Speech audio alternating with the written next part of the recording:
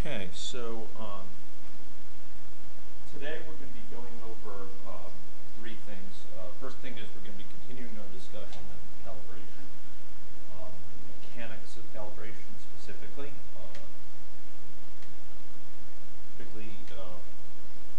looking at one one model and showing uh, how multi-realizations are used in the calibration process to arrive at uh, some objective function. Look at how the objective function can be changed, um, so it can be defined uh, flexibly for your needs, and um, looking at how um, AnyLogic uh, saves away the data um, regarding um, the best best uh, outcome on thus far, best combination of parameters from thus far. So again, finishing up our discussion of calibration. Secondly, we're going to be going on and discussing performance issues with any logic models. Um, what factors do you have to really watch out for in your models because they may make your model really uh, adversely affect your model performance, make it perform like a dog. Thirdly, we're going to be uh, going uh, for our, or maybe our uh, second to last uh, Java uh, related tutorial in AnyLogic. We would talk about methods um, and uh, the notion of the call stack, activation records, um, which is going to be useful for some lectures next week um, on uh, debugging in any logic, identifying the source of uh, faults um, that are causing uh, obvious failures within your program, within your model, and also for discussing um, uh, profiling, which is a technique for identifying why your model is taking so long to run. Both of those tools, uh, profilers and debuggers, in, in support of the processes of profiling and debugging, um, make use of this notion called the call stack. And today we're going to be providing some basic understanding of the semantics, the meaning of, of method calls in Java, and understanding what the call stack is and uh, how, how it relates to uh, calls you see from one method to another. Okay, um, so that, that's going to be most of our discussion for today. So to get started, I'd like you to load up this SIR agent-based calibration model that we uh, started with last time, and I believe you should, uh, you may still have it loaded in your workspace for, for AnyLogic, okay? So you recall this is one of the AnyLogic sample models. And you recall that last time we had talked about sort of the motivation for uh, calibration. We had noted that calibration involves exploring some parameter space. Here uh, shown for an example with three dimensions. Um, each of the dimensions is associated with some particular parameter. And within the calibration process, we are exploring different combinations of values for each of those parameters to identify the value of the parameter combination which yields the best match of the model, the emergent behavior of the model, to empirically observed emergent behavior of a system, of an external system. And the goal of this in many ways is to leverage the sizable amounts of information that are often available for observations about a system, but which don't relate to any one parameter, which don't allow you by themselves to estimate a particular parameter, but which constrain our understanding of what the possible parameter values um, must be. And we had argued last time that that um, this calibration process requires a couple things: a specification of, of what are you trying to match, this empirical data, and and uh, some statement of how you judge discrepancies from that data, as defined by either a, what's called a penalty function or an energy function. Um, for those for physics background, or uh, defined by a payoff function, um, or an objective function that you try to maximize. So that's that's one thing. What are you trying to match, and how do you judge goodness fit? A statement of what parameters to vary, over what range to vary them, and characteristics of desired optimization algorithm. As we'll see, there's some additional components um, that are often added to judge the uh, legality of points within this space, this parameter space. How do you judge what's a legal point? And how do you judge what's a legal simulation outcome? Um, for example, there may be simulation outcomes that are implausible by virtue of their emergent behavior.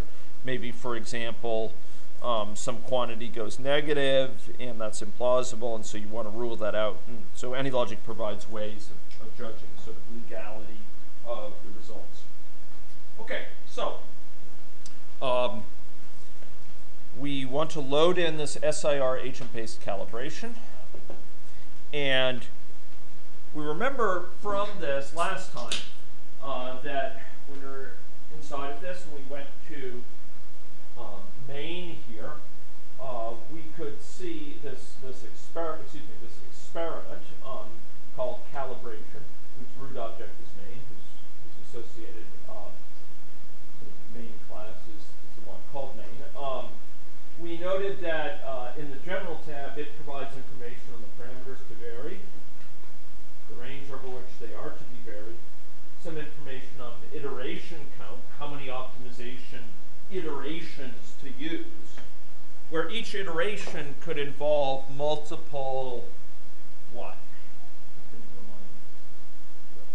Yeah, repetitions. Oh, the, the preferred um, terminology within AnyLogic is replications. The preferred terminology, from my experience more generally, is realizations. They're basically runs of the model with different random number seeds, same parameter values, but that can yield different results just because of the vagaries of the stochastics involved. So what this is saying is there's 500 iterations, and then as we'll see, each iteration is going to involve some number of replications, as defined by the replications tab. Um, and so we're going to be varying these parameters. In this case, the two parameters. So we have a two-dimensional space that we're exploring instead of this three-dimensional space here, it's like we, we're only exploring two dimensions, and and uh, we're exploring it 500 times, and we're trying to find as, as good as it gets within those 500. Um, alternatively, as we'll see, we'll be able to, to ask it to automatically stop once it gets to a certain estimated level of precision in the results. That will be an alternative. Here we're just telling it, go 500 steps, see what you can find, and declare it a day. Okay. So, um, within this, uh, uh, within this uh, experiment, that what we were looking at here was predominantly down in this lower region. There's an additional thing that specifies the objective function. And you'll notice here we have a, a choice between minimizing some energy function, trying to get some minimum energy state is the analogy, um, lowest energy state. It's like we're, we're in a mountain, we're trying to descend the mountain and find the lowest point we can. Or in this room, we're trying to descend and descend and kind of wiggle around until we get down to the floor. Um, trying to minimize some quantity or trying to maximize some quantity. We're trying to climb up to find the top of some mountain. Uh, so uh, here we can specify this, and in this case it's specified as uh, minimized. And what you'll see is there's a thing called difference. Difference is called on two things here, DS infection current and DS infectious historic.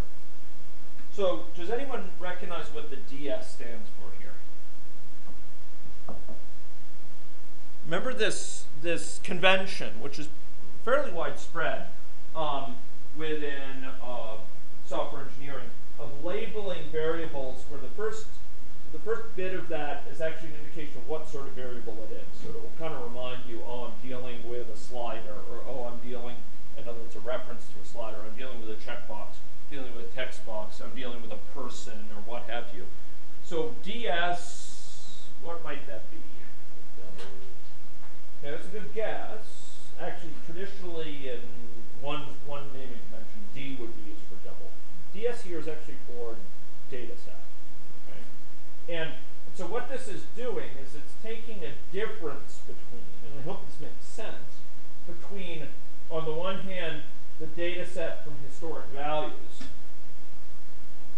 So some some data set we have on number of uh, cases of, of infection over time for each point, successive point in time, and comparing that to the data set that we've accumulated from our model that's resulted from our model operation for a particular realization, okay, um, of the model. So in other words, for each realization, for each run of the model, so to speak, with a unique random number seed for this unique set of parameters, we're going to get out a DS infection current, and we're then going to take the difference between that and DS infectious historic. Now this difference is a built-in function in what's called the utilities area, it's a built-in method, and we'll, we'll see a bit more information about that in just a minute. But this is where the objective function is defined. Now, what's notable here is that we could define any objective function we wanted to, um, as long as it operates on the information available here after, after a given realization. We're going to see how this turns into a rating or score or um, or uh, sort of measure goodness for each point in the space. How do we, in other words, how do we go from a per realization one to a um, to one that summarizes across multiple realizations for a given point in the space? We'll see that in a few minutes. Okay. Um, but for right now, what I'm saying is that in this tab, this general tab, um, in this objective function, it, we provided a rule, as it were, that says, how do we judge goodness of fit of a given realization? And here we're doing it using two data sets. Okay. Um, you'll notice we're only judging goodness with respect to one particular data set of historic data. In general, we might have several data sets. So this could be difference with respect to successive pairs, difference of these two plus difference of those two plus difference of the other two. Or you might define your own function, that your own method that says, you know, how to measure goodness of fit across multiple data sets. Okay, so it's a general expression that that you provide there. Okay. Um, so here it's using a, a built-in uh, function. Now, um, you know, this is something I've, I've been wanting to do for a while um, and haven't gotten around to it, but I, I thought it's it's, I think I showed this to you uh, at one point, this sort of interface AnyLogic has, but it struck me that it's very valuable to know about. So maybe I'll, I'll spend just a minute or two trying to um, orient you to it. So I'm going to close my AnyLogic help here, and I'm going to go to AnyLogic.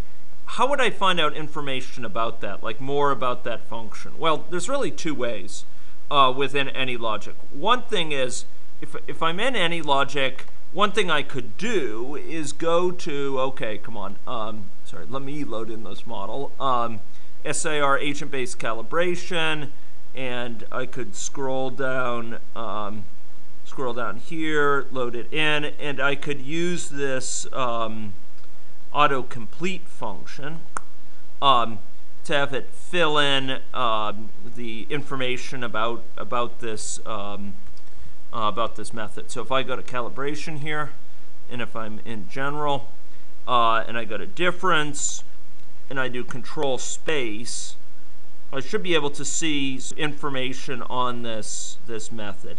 So you'll notice over here, go click over here, and I can, it says difference function, which is always non-negative, reflects two uh, difference between two different uh, data sets.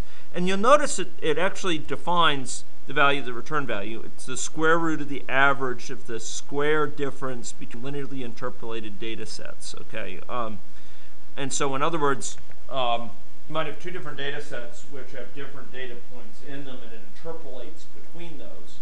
And then it's kind of matching up, um, it's integrating out essentially over, over time uh, using the data points that are there and finding the sum square difference and taking the square root of it. Okay, so um, it's quite similar to if you have two vectors. So you have some origin, you have one vector, you have another vector, um, and you want to find Euclidean distance between them. So here's vector one, vector two, and you're trying to find the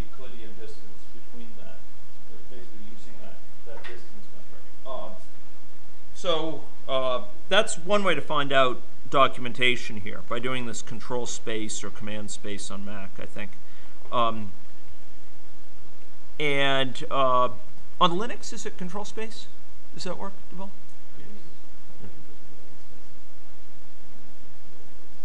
Okay. So, so yeah, okay. Um, so the other way to do this, though, that you should know about, especially if it doesn't work, is, um, and maybe I could check that out on the Mac. Um, uh, help, and then you do AnyLogic help.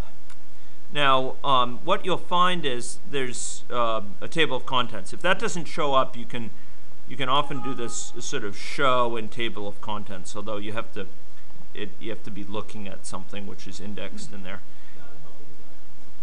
Okay, it, it does. And so then the most detailed reference is in this thing called API reference under AnyLogic classes and functions. Um, so um, there's a bunch of information here on um, sort of at a higher level on different functions, which is useful. Um, so time-related functions, etc. But then there's this API reference, uh, application programmable interface, and that provides detailed information on different classes in AnyLogic. Now, initially, some of this may be confusing, like this, um, this diagram up here. We're going to explain this some next week, what this means, okay? Um, uh, suffice it to say, it has to do with what's called subclassing um, and uh, subtyping, and uh, this lists various subclasses. But what you'll find is, if you look at agent here, and you scroll down here on the right, um, you'll find a bunch of information on fields it defines. Like if you've ever wondered how it might define random, remember we've used that before, random connected. When we send a message, who do we send it to? It's to random connected, all connected, etc. Those are where those constants are defined.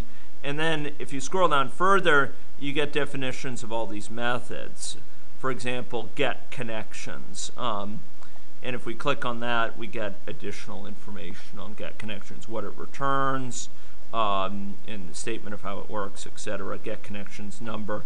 So this is sort of a uh, comprehensive view of the of the uh, functionality provided by these AnyLogic objects. Now, uh, uh, much of this is available when it does this autocomplete but sometimes you want recourse to this information. And occasionally, quite often, you know, I'll find myself kind of going back and referring to this um, to explore some some understanding of what's going on behind the scenes. So good to know about, and um, you'll also find you know other sorts of information here, like AnyLogic tutorials and higher level description of, of, of how these things work, how the enterprise library works for for discrete event modeling, etc. But this reference is really key for understanding um, understanding uh, some of what AnyLogic provides in terms of services to to developers of, of these models. Okay, so um, we've been looking here at um, at uh, that component. You'll notice um, uh, it is possible rather than using this built-in one as we're doing here, this difference, you can actually define your own here, right? You can define your own method called, you know, um, my difference or called, um, you know, uh, payoff or what have you, um, that you could define as a function over here. And uh, I think it was only in the later, later versions of AnyLogic they actually defined this difference function. Earlier versions of some of these models actually had custom-built functions which performed these things. So this was an earlier version of this model, any uh, SIR agent-based calibration. They had a function called difference, and this is how the function was defined. It just iterated over the array, and it basically subtracted the value in one from the value of the other. This is, yeah, this is not as general because it depends on the data points having been sampled at the same times between those two data sets. So um, here we're, we're just uh, iterating through the different sample values for the historic on the one hand and the current on the other, taking the difference, and here it's adding the absolute value. So that's actually a mathematically different way of measuring differences um, than the Euclidean distance, um, and it's also less general. The newest version of AnyLogic is a more general way of doing it that allows for interpolation. So, in other words, the historic data may have been measured less frequently than the data you have coming from the model, but you can still take the difference, okay? And hence, hence this built-in function difference. But question? No? How, how would you look up what the active function is for the activity you're using? Okay. So, so um, what I do, and let me know if I'm not answering your question here, okay? So, in other words, um, I would go here and um, the, the first thing I would do to find out some information is I would I would call up um, I would call up this. You'll notice, by the way, there's several of those with that with uh, two with that name, and these are what's this is what's called an overloading of the function. In other words, um, different from overriding, which is another term we'll get to. This is an overloaded function. In other words, there's different versions of functions which take different methods, or excuse me, different arguments here, different parameters. So this one, for example, operates in two data sets. This one operates on a data set and a table function. Okay, the top one. This is operating on two data sets. So if I wanted to find out about that, well, my first recourse would be to to do this this autocomplete. I would select it here, and then I would go browse over here and read about it here. Now, if I want to find out potentially more information or read about it in the context, what I would do is I would go um, go to help and go to AnyLogic help, and I would go down to to this API reference, and um, you could actually search for it here, but something like difference is just so helpful because it's going to occur in a lot of places. I mean, if I search for difference here, um, what I probably find is, you know, um, Laplace, log normal, altering parameter, all these things have nothing to do with that because differences has um, has other connotations too. You know, it's it's such a colloquial term. So what I would do is again go back to the table of contents, and then um, I would go to the API reference here, go to engine, um, and scroll down here. Since this is something to do with agents and so on, rather than something to do with the analysis function, and you could scroll down to agent here, for example. Um, and here's all the information about agent.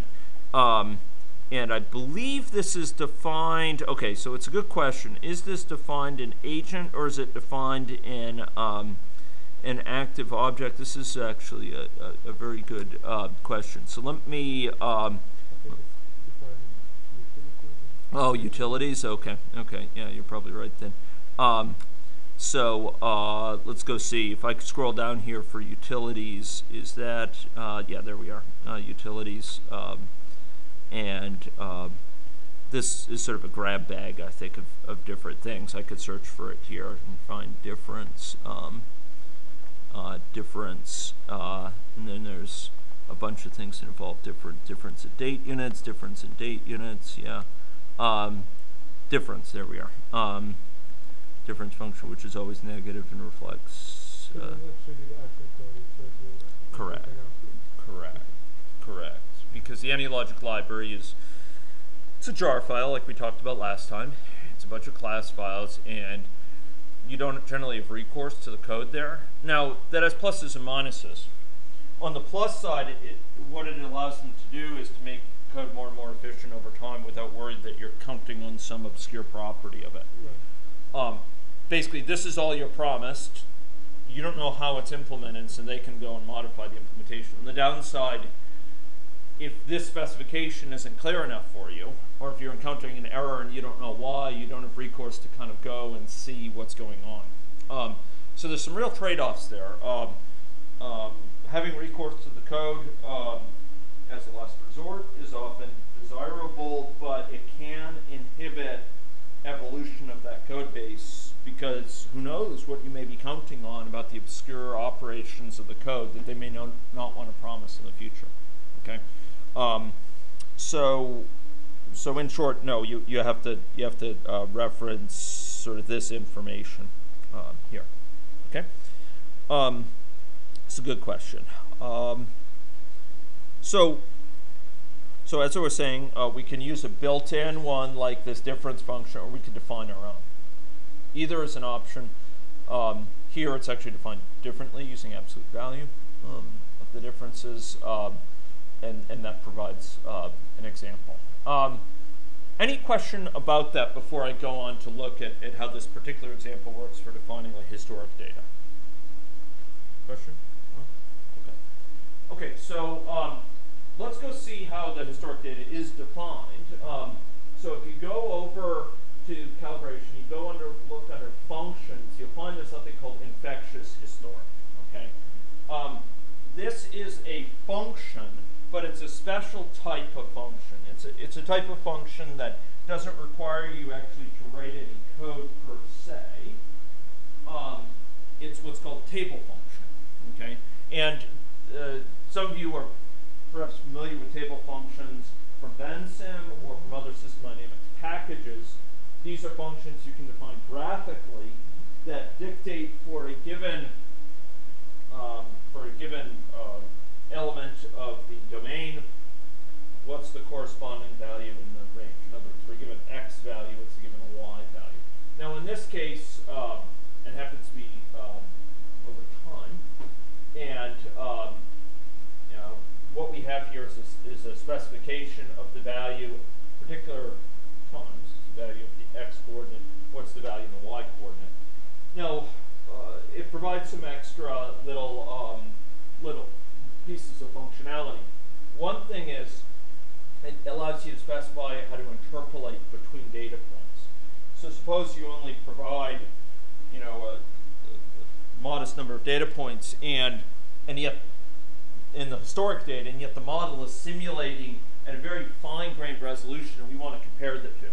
We want to say, sort of, what did the model predict versus what did the historic data um, predict? We might want to interpolate between those historic data points and say, roughly speaking, the historic data would have reported this.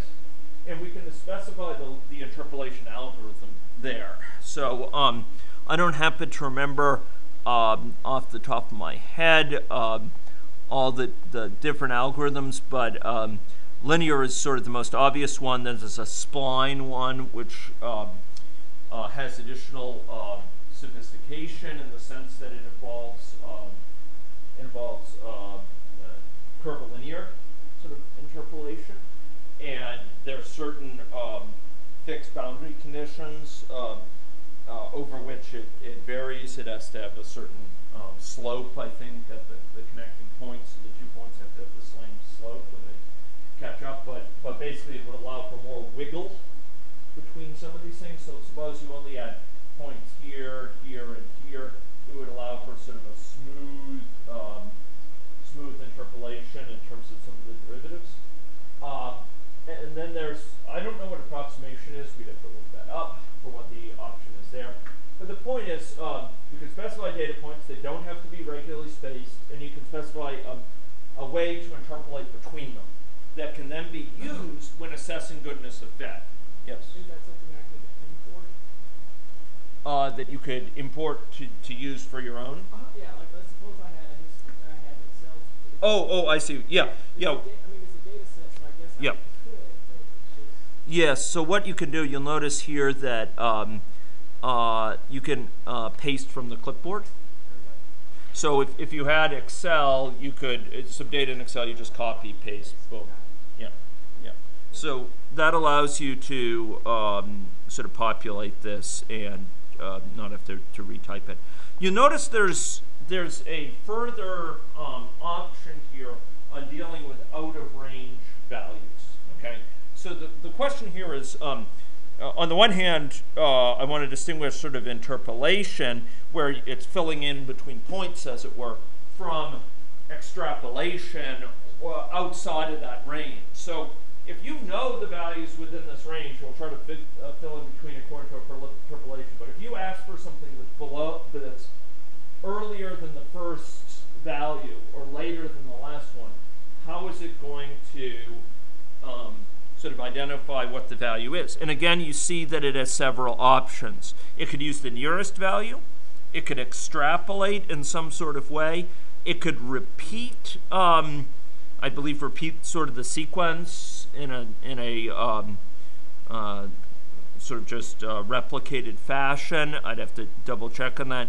There's some sort of custom one, um, but uh, this allows you to to have some measure of flexibility in the values. On the other hand, you may want to signal an error if you know it should never be sampling outside of this. You may want it to signal you that hey, it's doing something illegal. And um, within the next uh, the, the remaining lectures of the course, we're going to be spending some time talking about this is when you build up a model.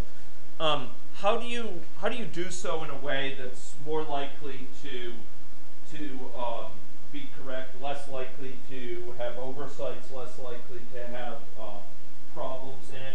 How do you not only build the right model, but how do you build the model right?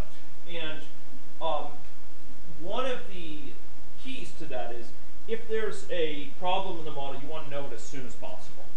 You want, if, if there's a problem, this is a good principle in your life as well. If there's a problem, you want to be alerted to it quickly so you can deal with it as quickly as possible. You don't want to just paper it over.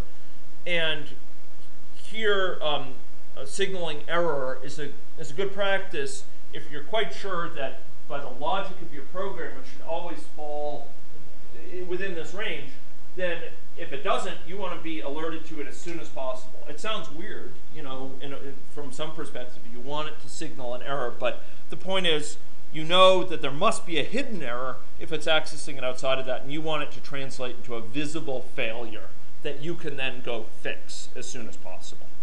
So, um, so in this case, it's a, it has an out of range error reflecting the fact that by the logic of the, of the model, we should never get anything outside the range. Okay, so table functions are really useful. They prevent you from having to write a lot of code to import data, to interpolate the data, etc.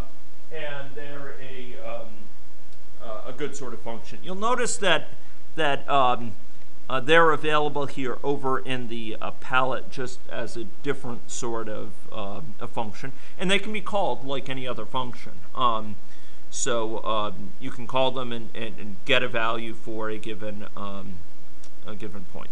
Okay. Um, okay, so um, that's the historic data.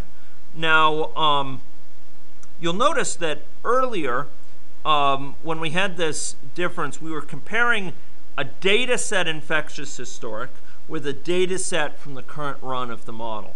Let's just see how each of these threads of logic play out, how, where that data set of historic data comes from. So if you go again to calibration main and you go to the advanced tab this time, um, what you'll see is a staged set of logic that specifies what to do at different points within the, the broader experiment.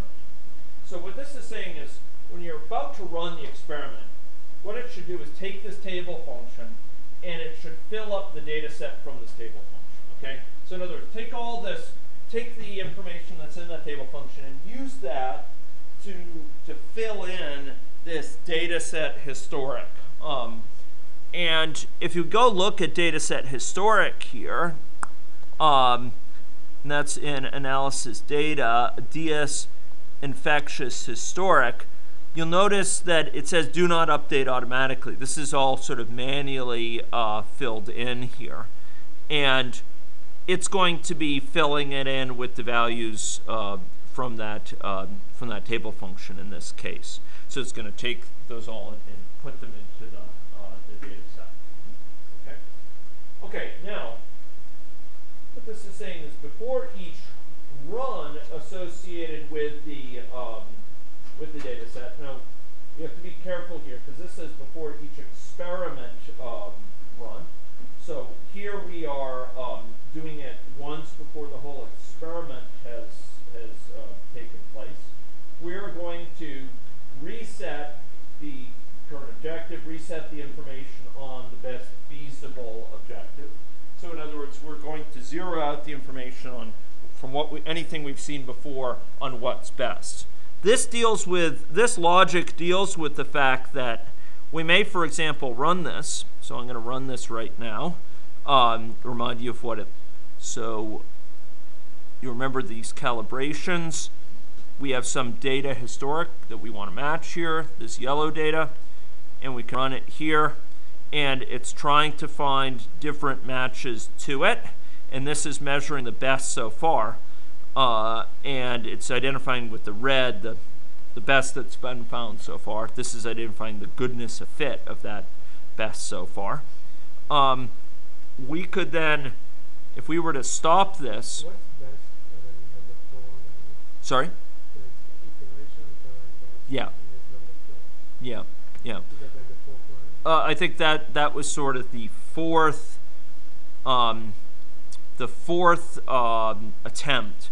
It actually found, or the fourth iteration, fourth, the fourth point in space in that parameter space. It actually found was uh, found the best because we've gone 16 iterations and it found at number four it actually got the best value. It's trying to find better values than that, but the best it's encountered thus far is number four. It's as if um, you know you were uh, climbing a mountain and you've gotten to some peak locally and you're you're trying to it's kind of cloudy so you can't tell for sure there's a higher peak but you're kind of exploring around that and it may require you to go downhill a little bit. You're following some ridge. Now that ridge may lead to a higher peak later uh, and in fact if we were to continue on this um, i just uh, restart it but uh, uh, here it's found number okay number five okay now that's interesting um, uh, here it's number four for a while, and then, um, okay, now this is interesting because this is not going up uniformly. Um, it's actually sometimes uh, going down there, which I'd have to try to uh, understand why it actually decreases from time to time. Maybe it's because it's the two simulations at the same time. Ah, yeah, yeah, the, ah, that's probably it, yeah. Right, so these are the two cores on the, on my computer. Um, and so one may finish before the other, and so that, that's, that's probably it. Locally, it seems to be going, going up in general. It's just that one may take longer than the other, so occasionally it sort of goes, goes back or what have you. So still number four was the best one, and it's searching around for a new peak. You can imagine it going along a ridge and trying to find something higher um, generally speaking, it's going to follow a gradient up higher if it if it finds one. Here it actually got a little bit lower uh, here, so now that's replaced at number four with number 56. Now it's been replaced with number 68, and you'll notice that those those things corresponded. This was number four; it came way down here. Um, number 56, it came down here. Number whatever it was, 68, and in number 80, it had a little bit of a decrease, I guess, between this and that or what have you. Um, so it's coming down. So this is reporting the best thus far, and that's the objective function. This is for the current one. What's the objective uh, objective function? And uh, it'll occasionally get replaced by that when when this this is below that. Okay. You notice some of the early objective functions were up around 2,000. So we've done pretty well in finding some good values. And by and large, you'll notice trend is somewhat downwards here. But but that's not to say that we don't occasionally go down into a swamp. Um, uh, forgive me for sort of mixing up the, the, the min and the max. Uh, but you know, occasionally we'll we'll get sort of way off from the peak we're seeking, or, or way off from if we're trying to minimize, sort of get as low as possible. We'll occasionally end up on a ridge or something. Um, but by and large, it's getting somewhat better over time. Um, although, you know, this was actually better, and then it started to get worse, and etc. So um, uh, the point here is that if we were to stop this, and I were to restart this, what should happen? If I if I want to restart, so, so I stop the whole experiment, and I say, okay, I want to start this now. It should clear out everything. And so if I start this now, um, it it should sort of reset what was what was the best, and indeed now it's back up to 600. And so, folks, that's why we saw this logic here for before the experiment run, reset the current objective, reset the best feasible objective, the best one it's it's uh, found, and sort of the the current uh, value of it. Okay. Um, so uh, and then what what we're gonna is that um, um, it's going to be recording now for different replications the um, the the best value and then then combining those estimates for a given iteration, which consists of several realizations or replications. Okay, so you'll recall that ABMs exhibit uh, significant stochastics, and this yes, Sure. before you leave. Sure. There's no problem, even though I reset yeah. for the different replications, there's no problem with continuing to record. Okay, so that reset, it's a great question, Bill. So the, the, the reset here, um, let's, let's stop this for a second. That reset that we saw here, that's before the experiment runs. So that's why I was saying, like, if I restart this whole experiment, it's reset. It's throwing away essentially all the information it got before. Now, between within each experiment, it's it's not throwing all this information away. It's it's in fact storing up some information, like the fact that number four was the best so far, and what was the value at that best one. It's storing that up because it needs to in order to sort of keep track of what was the best thus far. So this best feasible objective, um, for example, is is keeping track of information related to sort of what's the best one thus far and so on. Um, and so it's not throwing everything away there. This throwing the stuff away is specifically when I stop and I'm starting the whole experiment as a new thing. From iteration to iteration, it's actually accumulating data. It's accumulating data, remembering what's the best encountered thus far. And yeah, And there's nothing to stop me if I wanted to keep the different values that it's arriving at between experiments, right? Uh, okay, so if, in other words, if I wanted to, so I'm, I'm running this, suppose I say I want to run five different experiments for whatever reason, each of 30 iterations or something like that. Um, okay, so I might stop it here, for example, after, well, okay, say 32 iterations, and I say, okay, the best value I got was 465, and I got it on iteration four. You know, um, suppose I want to store that information away, and then for whatever reason, suppose I want to kind of, um, oop, suppose I want to stop it and and then run another 32 and find that. If if I want to somehow remember that information, um, there's really two places that I could think to two ways to do that. Okay, there's sort of a um, a, a- way that, that maybe is a bit more obvious here and a way that's a bit less obvious. So the, the more obvious way um, is you could simply not have this code to throw it away. This reset code. I mean, so uh, let's put it this way. You could accumulate in a data set and simply not reset that data set. You probably do want to reset you may want to reset these if you wanted to actually start at a new point in space and, and sort of come down and and you know view have report the best one from that sequence of 32 iterations. Forgetting what you for the moment what you got earlier but you want to keep track of what's the best from each successive set of 32 you could basically avoid resetting some of the data sets and keep those around. On the other hand, um, the other ways, you know, you could put it out to a database or something like that and just store that information away. Uh, the, in other words, we don't have to reset. Um, uh, there, there's there's no uh, correctness reason we have to reset. We're, we're resetting here because we, um, according to the purposes here, we want it to report for however many iterations it's done what wh- what the best has been thus far. And when someone restarts it, we want it to kind of wipe the slate clean and, and just report for that sequence of iterations. Does that does that answer your question? Okay. Um, but in principle, yeah, as long as this thing is running, we could actually record things across many such sequences of runs and and report the best received in, in any sequence of runs, something like that.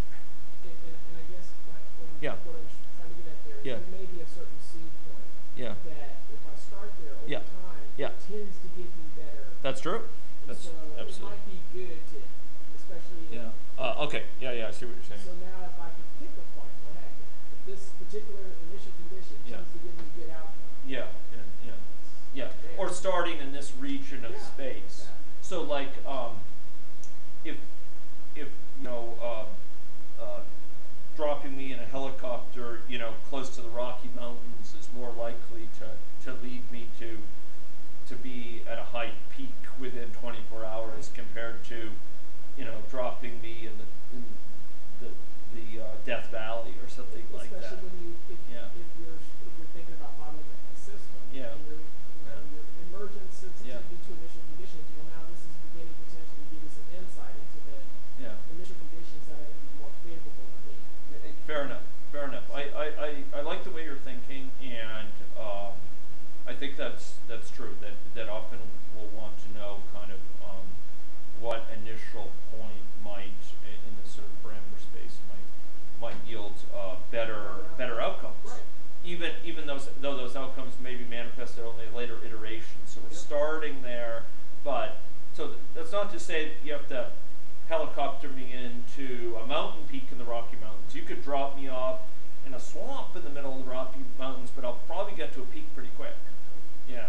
S- So, so yeah, that's that's true, and I can imagine. Yes, you want to sort of keep track of that information, like what starting point led to the best outcomes thus far.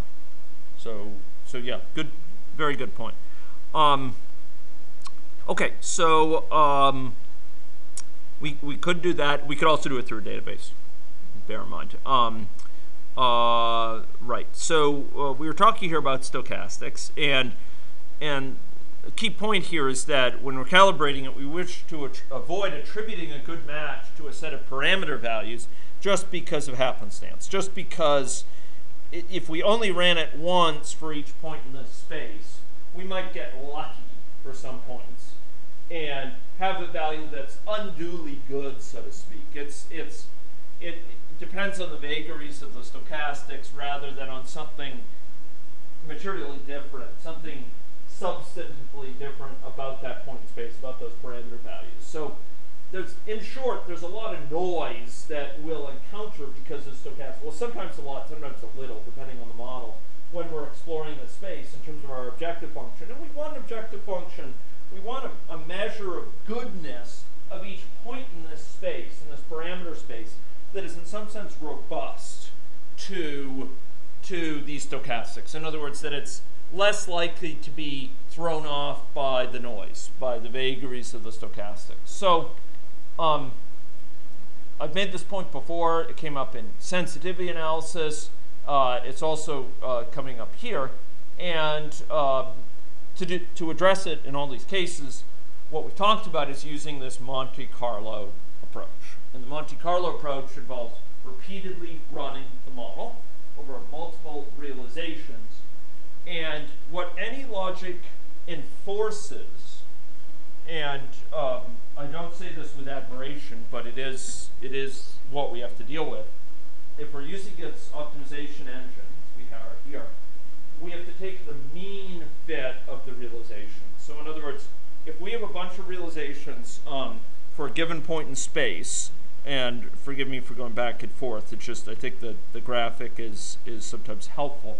If for a given point in this space, um, we we're going to sample multiple realizations one, two, three, four, five, etc. Um, and generally, we might want dozens, as Deval noted, the sort of default in this model, I think it's five realizations, which is pretty impoverished. Hey, it's a lot better than one, but but it's still pretty impoverished. If we were to do dozens, say, at that point, um, for each each realization, we're going to get some objective value, right? For each realization, we are going to be evaluating, to be clear, this difference here between the data set and the particular results we've gained from this realization in the model, the DS infectious current. Because after all, each realization is going to lead to a certain number of people getting sick at a certain point, as, a certain intervals of time. So each realization is going to yield a value for difference. And let's suppose we run um, 30 realizations, and we have 30 different values. And for this difference, AnyLogic takes the mean of them to judge the kind of goodness of fit uh, at that point. And so would it be significant, depending on the size, the, the, rel- the absolute magnitude of our various parameters, in other words, Yeah. how big our cube is? Yeah. Would we wanna impose some kind of design of experiment thinking as Mm. far as where the points we want to actually choose uh, across that space? Mm. So as opposed to doing Right. like this broad Yeah. shotgun approach, Yeah, I really yeah. wanna say, you know, I'd Uh, really like yeah. to get a feel, Yeah. maybe like a, a systematic sample of some sort. Well, yeah. So, um, uh, it, it, it's it's an excellent idea, an excellent point. Um, and in fact, in the optimization literature, you'll find devices for doing exactly that. Um, so, um, in Vensim, for example, to use another simulation package, um, Vensim does not offer, and it's it's frankly a, a fairly big shortcoming from my perspective. It does not offer this idea of having multiple replications for each point in space. There's a way to do it, but it's really awkward. Um, uh, it's not supported officially. You have to subscript the model by iteration number, uh, by replication number. But um, what it does do is it allows you to define what's called Latin hypercube samples. And um, what that guarantees is that um, at least you'll have every distinct value, say, of, of a, some discrete set of values you specified as wanting for mu, or some you specified as wanting for beta, or set of, that a set of values for, for tau. Um, maybe you want to sample 10 tau values, 10 mu, Right. 10 beta, and you're guaranteed to have each possible value for tau represented somewhere each value possible value for mu, each possible value for beta represented somewhere, but not all combinations of those possible values. Just um, you've explored the extremity, for example, with respect to the upper side of tau, lower side of tau, extremity with respect to mu, lower mu, upper mu, lower beta, upper beta. All those are guaranteed.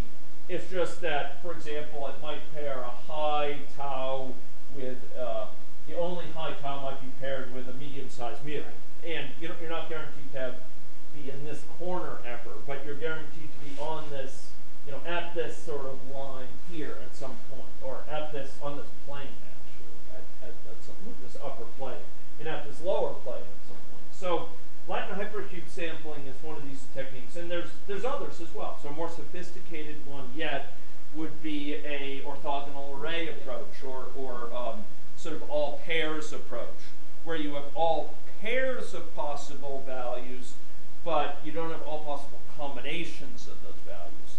And um, uh, AnyLogic's use of the OptQuest engine, I believe that uh, OptQuest may support these things, uh, or at least at least Latin Hypercube on its own, but I'm not aware of a way in AnyLogic to directly tap into them. I mean, it would be interesting to look here because I've done so much work with earlier versions of AnyLogic. It'd be interesting to look in this latest version, for example, you know, um, Hypercube. Let's if if we were to search for Hypercube here, um, what nothing found. So um, and if we were to search for Latin, um, we uh, we may not.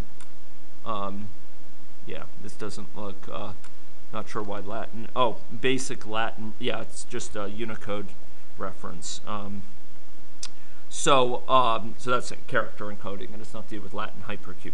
So, in short, AnyLogic does not itself support that. I think, in principle, one thing you could do, um, actually, it wouldn't be all that difficult, is to you could use OptQuest, and again, I, I think it probably supports Latin hypercube. You could probably use it to call off to an logic model and get back values from the AnyLogic model. Basically, do it yourself. But, but otherwise, design or experiment thinking like that is not directly supported right now.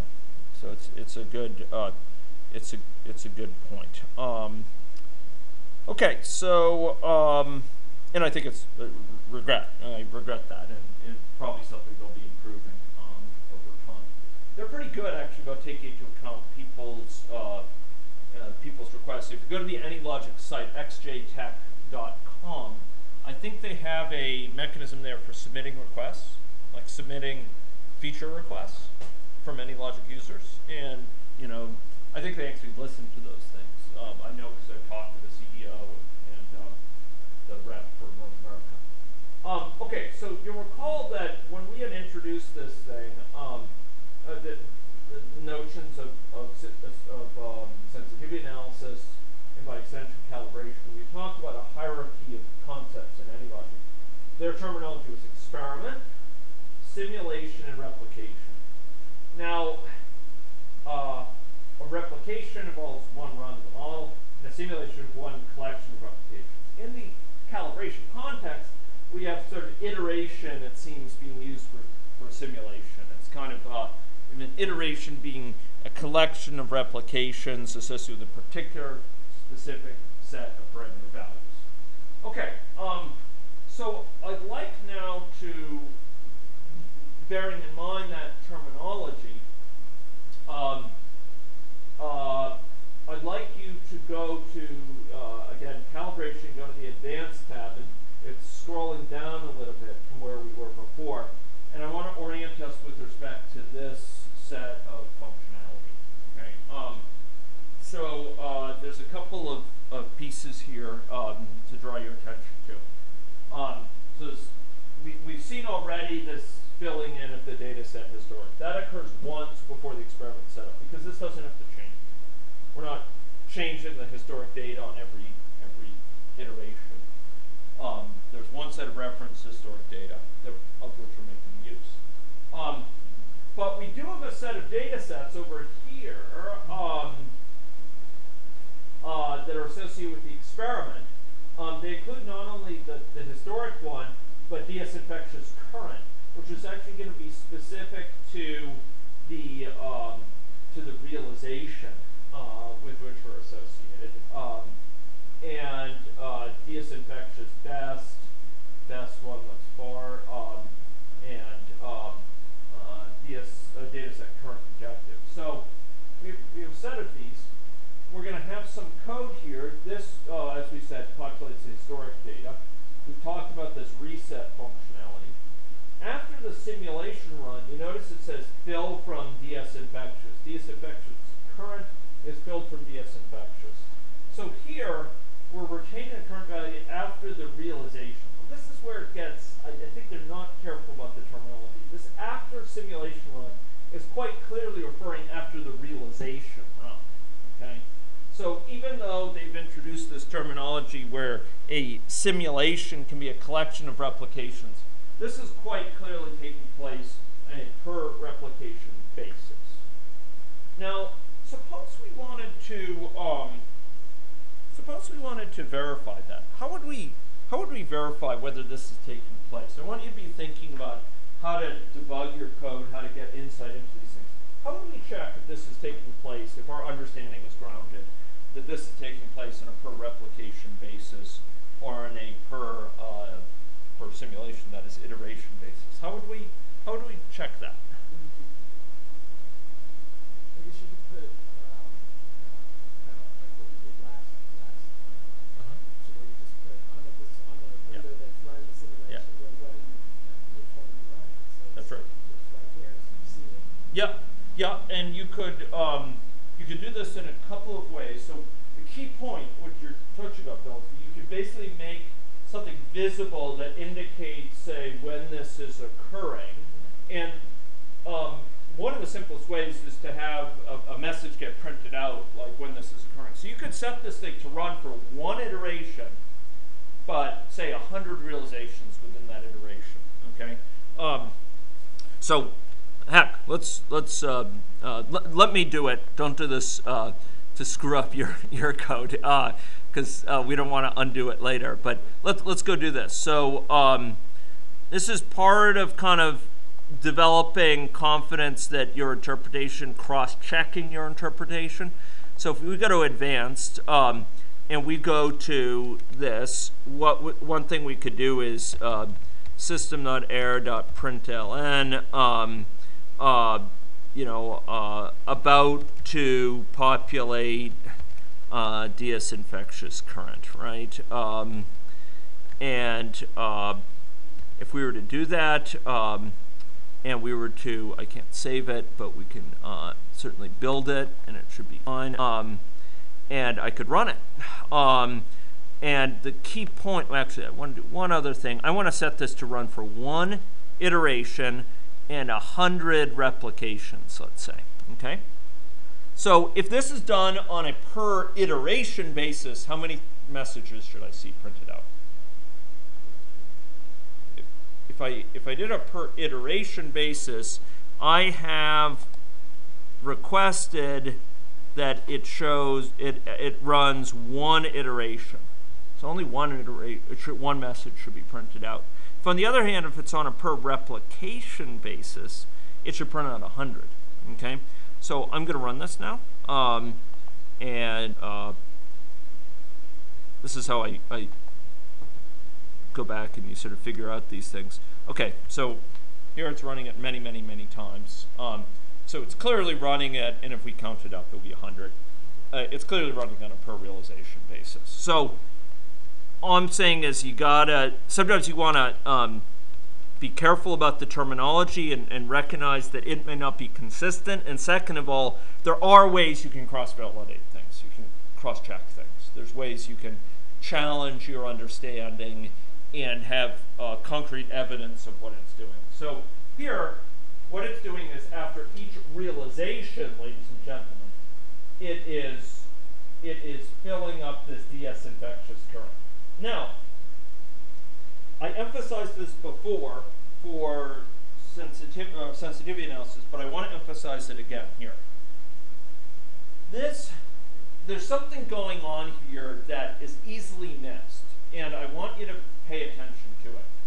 Um, so this code looks very innocuous, but there's a reason it's copying from one data set to another. This is one data set, that's another. Why is it why is it doing that? I mean, after all, here's this data set. Why does it have to copy data from that to this one? Does anyone want to venture an explanation for why? Why is it copying from this to this? Oh, so you don't screw up your data set. Okay. Okay, so that's true. That's that's true that that this data set is actually going to be screwed up soon, um, and so you need to rescue this data from it. But there's a reason for that. Where does this data set live? Okay, so where does this data set live? Well, we can actually look up and see DS infectious current. Where does this data set live? What's this root thing? Uh, on the computer side. It's main. It is actually, yeah, it's referring to Maine, um, not the state, but the, uh, but the, uh, but the, uh, the, the, the, the main, the main, an object of the main class. And so if we were to go look at calibration, do you remember? Remember this? If you go to calibration main, remember there's this sort of main active object that says root? So when we say root, we mean we mean Maine. That sounds like an odd political slogan, but uh, but, but it's not meant that way. It's um, uh, when we say root there, we're, we're actually referring to uh, to Maine. Okay, so so let's try to trace this logic about what's going on there. It's it's really good to understand where each of these is coming from. The motivation for this we talked about. It's resetting so that you know it tosses away all data. We talked about populated historic data. This is needed because this thing lives in Maine, and who is, when is Maine coming into existence? The, the main object, when is it coming into existence, and when is it ceasing to exist here? Anyone tell me? Is it just the main starts up just when you're about to run the particular um, Yeah. simulation The, yeah, particular, uh, using its terminology here, simulation, the particular realization of it. So each run of this model with a particular random number seed, each realization or replication, you can use those terms here, it's confusingly saying simulation. I prefer to stay away from that because in other contexts it means different things. But each each replication or realization, when it runs, that's when main comes into existence. Boom! Um, and main exists for the duration of that replication. Main accumulates while it's running. What is it accumulating, ladies and gentlemen, of relevance? What is it accumulating while it's running? It's accumulating, Different. yeah, it's accumulating this data set here. Okay? DS infectious current. Uh, DS, sorry, DS infectious. It's accumulating as it's running. Um, and once it's finished running, it's going to go out of existence. This is our last chance to salvage that data from it. We're going to have to get that data out before it vamooshes. Before it disappears, before it exit, exits. Um, uh, and so we then copy that data from that from, from within main and we place it in something that lives where? In a more persistent container. The container called the, yeah, yeah, the experiment. Yeah, that's where this DS infectious current lives. That data set, ladies and gentlemen, lives beyond a given replication. That data set lives beyond, indeed, a given, a given iteration. Um, that data set is is persistent until we reset it. It could actually live beyond each sort of experiment run. So the point is, we've rescued it from main and we put it in in a uh, a container where we have access to it.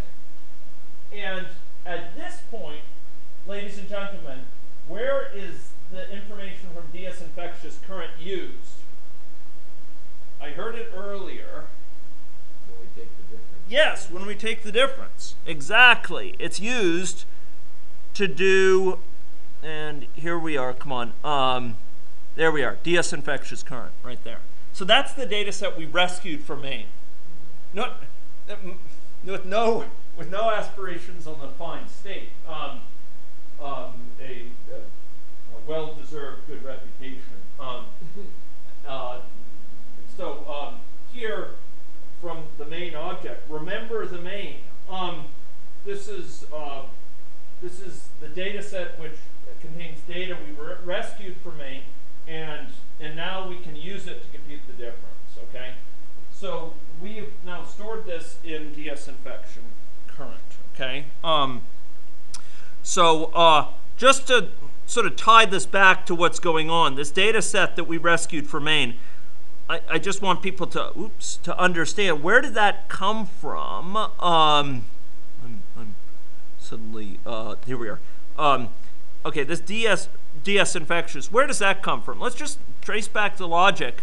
Let's go up to Maine. Let's go down Maine. Um, and uh, if you go go down Maine um, and you uh, go look at the, the logic for Maine, what you will find is first of all, hey, come on. Um, it contains an embedded object, excuse me, analysis data called infectious DS. Um, okay, now let's uh, let's hold on for for a second here. I'm wondering if okay, this version they may have tweaked that a little bit. The name of this.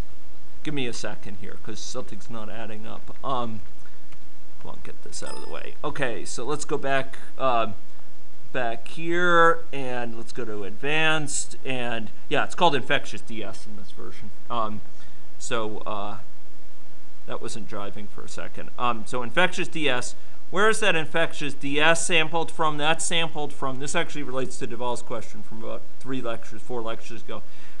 Infectious ds the data set in Maine from which we rescue that data just before it vamooshes just before it exits.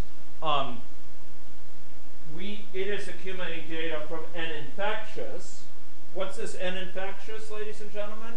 That is a it's a variable that lives in Maine, um, n infectious. And where do you think that variable is set? How does what do you think that variable contains based on its name? It contains a number of infectious people. And how would how would you have a variable in Maine that, that counts the number of infectious people? There's there's basically two ways you could have it. One thing is you could have it use a statistic on the population as we've seen. Where, where remember you could define statistics on the population um, of people, but in this case, there ain't no statistics there. So where would where would n infectious be set? How would it be set?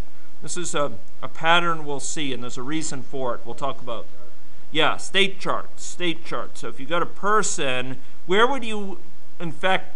Where would you expect the number of infectious people to be changed or, or adjusted here, modified here? Go, go, go infect when they're getting infected.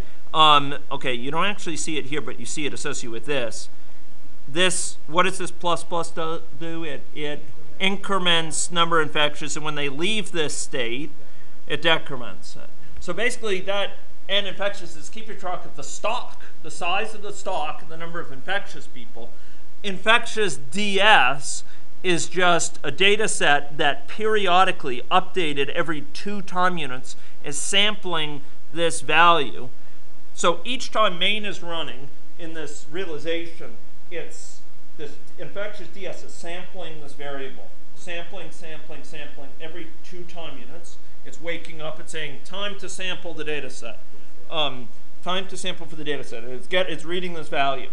Then at the end of that realization, we have this code in advanced under the under the experiment running, which takes that data and it says, "Oh man, Maine, Maine is, is about to slide into the ocean. Um, so we got to rescue this data, right? Um, and uh, so it goes and it takes that data and it sticks it into a data set which is safe because it lives in the experiment. And the experiment is lasting between many, many, many runs, indeed replications, indeed iterations um, of this model, and, and uh, of the you know of, of, the uh, simulations, and and that data set can then be used after main has disappeared. Um, uh, it could then be used to assess the um, assess the goodness of fit, and we and we saw how that was done through the objective function. So, by virtue of the fact that it took it out, that data, and squirreled it away um, in this DS infectious current, that's what allows us to do the difference. Okay. Um, so. Uh, that's sort of the logic here. Now, now, um, let's see. Here we have a thing in the after the iteration code. So um, here we have some further logic after the iteration. Now remember, an iteration consists of multiple what? Realizations. So we have these individual realizations with particular um, particular random numbers going on. Run, run, run. And after some number of those, here it's five, maybe it'll be 30 um, for, for your code, what have you. After you've run that many, you ask, okay, is the current iteration the best that's, that's been achieved so far? And if so, then you fill up a different data set with our, our data set that we filled earlier. So in other words, the number of people infected over time is then used for DS infectious best, the best one. And why do you think we're filling that? For this particular sort of toy example, why does that need to be filled? What operationally uses that? Why do we care for this particular um, for this particular toy model? Why do we care about DS infectious best? Where do you think that manifests itself? We actually saw something that depends on this. And what do you think it is? Riddle me that. What we saw is, is it saves the next run Okay, yeah. on, on the run. Yeah, that's right. It, it was it was it was that exactly. Um, so several of you are, are exactly getting it. So let's let's just run this again, and we'll we'll see it manifested before our eyes. Um, um, so so we actually don't see it yet, but watch this. Okay, um, the best one thus far will be manifested when it starts filling in here. Oh, you know what? I did it for a hundred. Um, sorry, folks. Um, uh, let me let me go back and reset. That's why I told you not to do it. Okay. Uh, iteration count on that, and and then um, and then I want the replication count. I want to set it down to I'll say five for now. Um, that will be fine. Just reset it to its value. Okay. So so let's run this. Um, okay. Um, so okay, best. Where is best? Here. Where's that depicted? It's depicted down here, right? See that? That's the red one. How do you think it displays that red one? How does it have the information to display what the shape of this curve is? Where do you think it gets that information? Yeah, it keeps it in a data set. And what might that data set be called? That data set might be called, I would advance, DS infectious best. So that's why it's keeping around. It's got to display it. It's got to display that curve.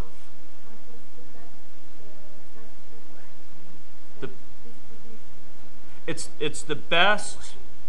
Um, it's it's the curve associated sort of curve of number of infections over time that's associated with the best fit between on the one hand the uh, simulation results and on the other hand the um, the uh, historic data. Yeah. Right. No, it gives the number of infections over time. Uh, no, it, it actually gives, for each of several points in time, it gives the number of infections that occurred for that interval of time. Ex- Excuse, excuse me, I, I misspoke there. Um, uh, no, it actually gives for point estimates of, of the current number of, it's the prevalence at different points in time. It's the number of people who are infected at that point in time.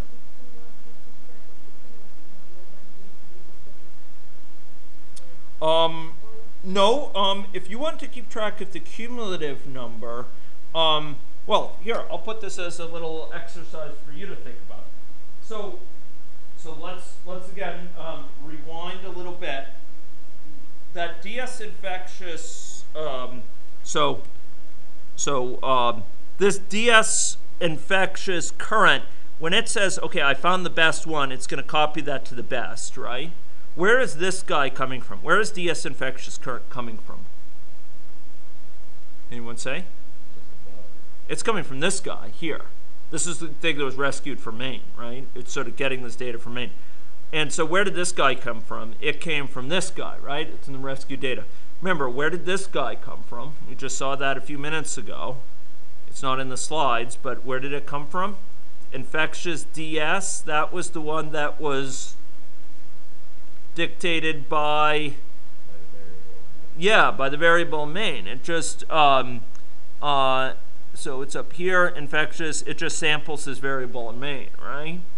And and uh, there's really a very easy way that we could have it instead of simulating the number that are currently infectious, it could instead be the, the cumulative number and it has to do with how the dynamics of this variable. So if we wanted n infectious, if we wanted another variable called cumulative infectious, right? Oh, oh, okay. Okay, so let me let me just finish the logic here though, and um, I'll, I'll do it more quickly to address that question. Okay, um, and it actually relates to some material that I've later for this session. Um, but n infectious here, if we wanted this to be cumulative infectious instead of the count of number of infectious people, prevalence as it were, prevalent case count, we want it to be cumulative number that have gotten infectious. How could we compute that in a variable? What would be different in the logic? You never decrement. You never decrement. That's all. Yeah, you just never decrement it. So, so we could actually add another variable just like that, and and here, oh, excuse me, uh, just right here. Um, so you for you might have you know get main dot uh, cumulative infectious uh, here, and that's all you need, right? Um, it would start at zero and it would just increment every time someone got infected, but it would never decrement. So, so that would be one way to do it. Okay, but Oski's point, Oski's question was more general, right? The question was, when do you use a statistic over the population like this, um, uh, where we have we can define statistics? We could, after all, we could add a statistic here, and this could be called, you know, uh, count infectious. Whoops. Uh, remember we did this before, and this could be a count of people. And remember, it's item is the thing. Item. We have to make sure that it interprets this. Remember we saw that coercion thing last time. Item dot state chart um, dot is state active, and we give it a name. Um, it has to know about sort of it's it's in person. You could do something like that, and that would actually count the number of people who are in the infectious state right now. So why do it that way as opposed to with a variable? It's a very good question. Um, I will I will tell you this. Uh, there's trade-offs. So defining statistics here allows you to have a point of reference for statistics computed on the on the population. It's kind of a, a convenient place to show in one place the statistics that, that are applicable. But it is performance hungry. So um, each of these statistics, computing them, requires a, a uh, traversal, a iteration through the population. Traversal over, iteration through, go, you know, chunking through the population. So imagine if I wanted count infectious, count susceptible, count recovered, right? I can define three different statistics, but to compute those, it has to go through it three times. So if I request count, you know, to display it, count susceptible, count infectious, count, count recovered, it would have to go through the population three times. And each, each, you know, when I go through it for susceptible, it's going to say, hmm, person zero is, is it susceptible? Nope. Put it down. Person one, is it susceptible? Nope. Person two, it's susceptible. And, and then I'm going to have to come back for infectious and say, person zero, what state are they in? Oh, they're infectious. Okay, I'll use them. And basically, I go through three times where I could have done it in one pass, right? I could have done it just one sweep, just putting them each in the bin, the appropriate bin. Oh, this one's susceptible. This one's infectious. This one's susceptible. Put it in those, uh, accumulate those bins. So this is a pretty, um, it's a very convenient mechanism, but it's somewhat heavyweight when it comes to if you're calling it a lot. The, the variable option that, that we've been looking at is actually quite lightweight because you're just keeping track when people change um, what what their um, uh, what their status is. Generally, uh, change when they change their status, you keep track of it. Generally, that's lightweight, but there are cases where it's actually fairly expensive. If you're only sampling the status of the population occasionally, and you have people changing all sorts of every which way between those times, you're going to be keeping track of the number at all sorts of times you don't really have to. And it may actually be faster to do one sweep through the population at, at just the points you're sampling. So in this case, I think the model designers were thinking, well, um, it's a little bit, it's a little bit more efficient, perhaps, to have it just keep track incrementally as people get infected and not infectious. Um, I will say another thing. I mean, if you wanted to keep track of number susceptible, number recovered, number infectious, the logic there, and you have all sorts of connections between them. The logic for like when to increment this, when to decrement it, it can get sometimes a little bit, um, a little bit meddlesome. Imagine if I want to ask, uh, have an additional category that was like number that have ever been infected or something. Um, uh, you know, it, it's it's not clear that you want a variable for that, which is you know incremented only only here, um, and then um, never decremented when you recover. It's um, so so there's some trade-offs performance-wise and cleanliness of the model or transparency-wise between these. Um, I would say in general the variable approach is often faster, but it's it often involves more spread logic spread out, whereas this one's a little bit more centralized. But I don't know that that I fully sort of dealt with it in in, um, in all aspects. But those are some of my thoughts. Okay. Um, good question. Any other questions on this? So, um, so let me get rid of the statistics here. Um, I think we can get rid of it over here. Boom. Okay. Okay. So, um, so this uh, get best iteration, get current iteration, turns out that um, uh, those are, uh, if I'm not mistaken, those are also built boot, built in here. Um, so so let's go um, continue to walk through this. Through in the interface, um, this objective, what this is reporting is the best payoff, the objective yet reached, right? And these are the values of the parameters that led to that best objective, the particular point in parameter space that led to that uh, objective. Um, there's two additional components here. Maybe I'll come back to this because I, I want to talk about multiple realizations. So this replications tab, you can have a checkbox for use replications. If you don't, how many replications do you think it uses per iteration? One. Yeah. If, if you do check this, then you can uh, specify a fixed number of iterations, um, or fixed number of replications or realizations per iteration.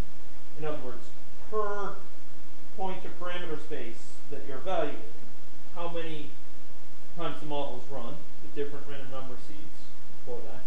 You can either specify a fixed number, here shown as 10, or you can have a varying number of replications, um, which, which is throttled according to statistical criteria. And um, we'll talk about this right now. So, um, hmm, um, tempted to come back to this because it draws on. Um, let me, uh, pardon me for just a second, because I, um, uh, I just want to make sure I'm, I'm, presenting this in sort of the sensible order. Right. Um, uh, okay. Good. Um, okay. Yeah. Maybe I'll, maybe I'll talk about this first so you see that where this mean comes from, and then we'll go back to that because it, ref it, requires reflecting on sort of the statistics associated with the sample mean. Um, okay, so um, uh, we actually did this thing already where I sort of printed out um, uh, printed out um, some message here uh, associated with this, and I'm going to modify this so. Uh, if I go down to this uh, calibration here, and this is actually going to be a little bit different for this version of, of the model because they've changed it since the one on which I based some of those slides. If we go down here and we go to advanced, um, and we come down here, I had this print thing here. But what I'm actually going to do is, um, is instead of just printing this, I'm going to say uh, uh, and the oops and the difference uh, or the disparity um, is uh, and this is going to be sort of the disparity between the two of them the the um, the energy function as it were. And I'm going to put in a call here to difference um, and in fact it's going to be the same call that's used here so I'll just take the text from it this difference between these two, okay? In other words, the difference between the current one and the infectious historic uh, values. So we're going to go back to advanced and just paste that in here. Oops, uh, paste it in here. Um, there we go. Okay. So here uh, we've populated DS infectious current, and I'm going to take the difference between that and the historic, okay? Um, so now, instead of just sort of saying, hey, I've reached this point, I'm actually going to be printing out um, what the difference was. Okay, so uh, I'm going to run this thing, and what we should see here is there's a bunch of uh, reports here um, on on the differences. Okay, so these are the differences for a particular what? A particular realization. These are the differences for a particular realization. Okay, Now, the reason I'm showing this to you is um, uh, if, if you do that, and, and you can actually go look at the values there in the console. Um, for example, this 1709, 1143, 1710, 1243, etc. If you were to do that um, and uh, take a look at what's reported as the value for that iteration, it's the mean of these values. Okay. Um, so in other words, each realization is um, is getting some value, and then um, uh, that excuse me, each iteration is getting some value, and that's just the mean of the values associated with each of the realizations. Okay. Um, so each iteration, each point in parameter space that's being evaluated for, for calibration is associated with some value. That's why we're iterating over this parameter space to find the best one. And that, that value for that given point is dependent on the value for the realizations associated with that iteration. The iteration might consist of five, in this case, realizations, or 10, or 20, or 100. And it's going to compute a realization, uh, a, a rating or score for that realization using that, that sort of code we saw in the objective function, right? Using, using this code uh, we saw um, here. Um, it's, it's using this to develop that score, and we're in fact reporting that score in this little bit of code I put in here. And um, and when we do that, um, we we actually see the value. Excuse me for for gosh, where is this thing here? For each uh, iteration, uh, for each realization, and then if you were to take the mean of these in Excel, and I won't do this because of, of time considerations, but if you were to take the mean here of these for a given iteration, take the mean of them, what you will find is that mean is the value used um, within that interface is the rating for that iteration. So when we are running this thing here, um, you will find that the value reported, this 1710, for example, um, uh, that that was there for the very first one. Let's let's sort of go go there again. Okay, that 1710, that's coming from the mean of a bunch of, of these guys, okay? Um, and uh, and you'll notice, although here it's reported, excuse me, this, this one here, this 1710, here it's reporting each successive realization and its value. And then once it finishes that iteration, it reports sort of the score of, if it's the best one, it reports the score over there. And that's the mean of those, okay?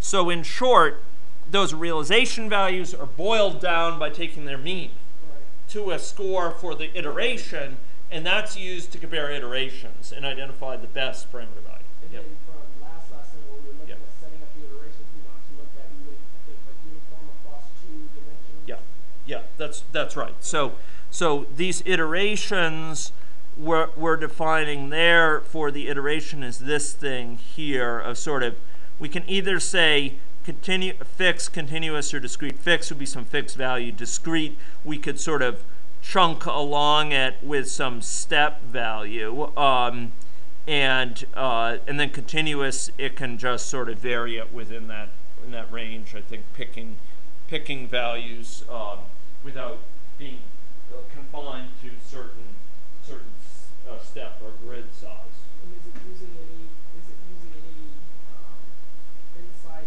from the previous iteration to Yes. pick the next step? Yes, I believe so.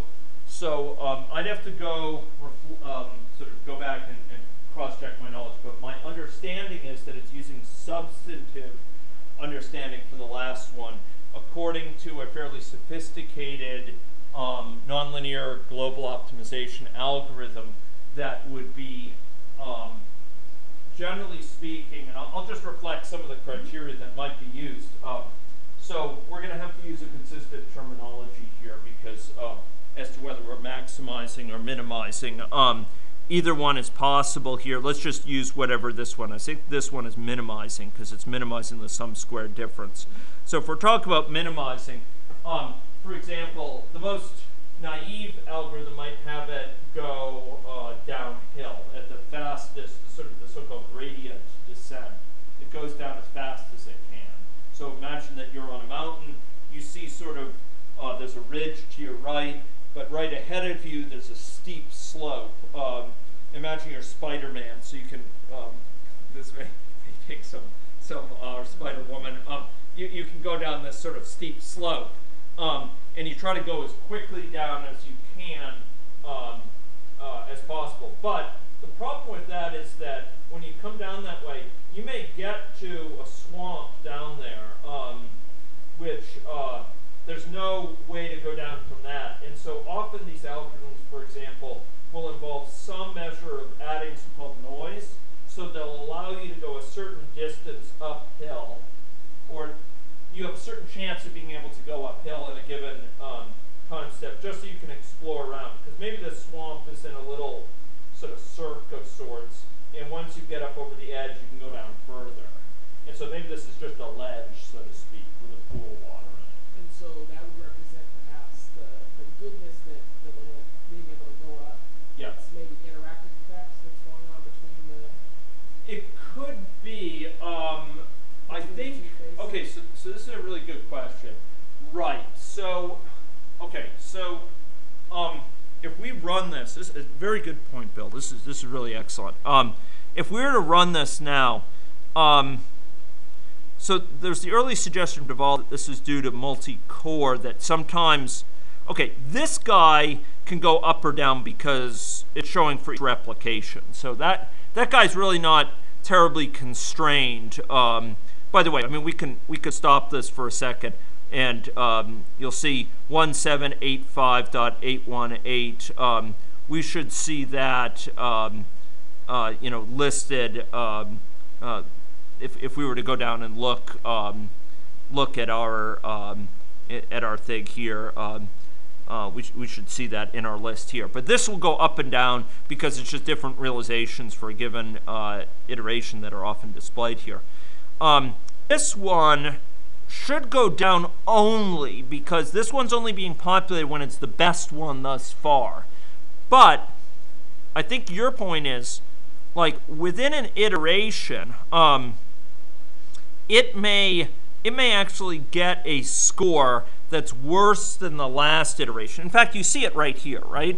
Like each of these dots is a iteration. Each of these dots shown here um, is associated with a particular iteration. And sometimes the dots go down, but sometimes like this one goes up, right?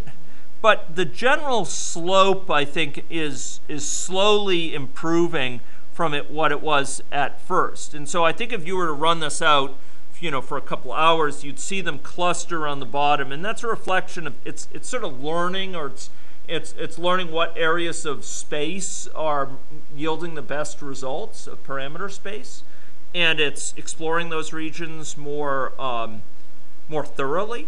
Um, and so there's substantial um, uh, sort of um, carryover from one iteration to another.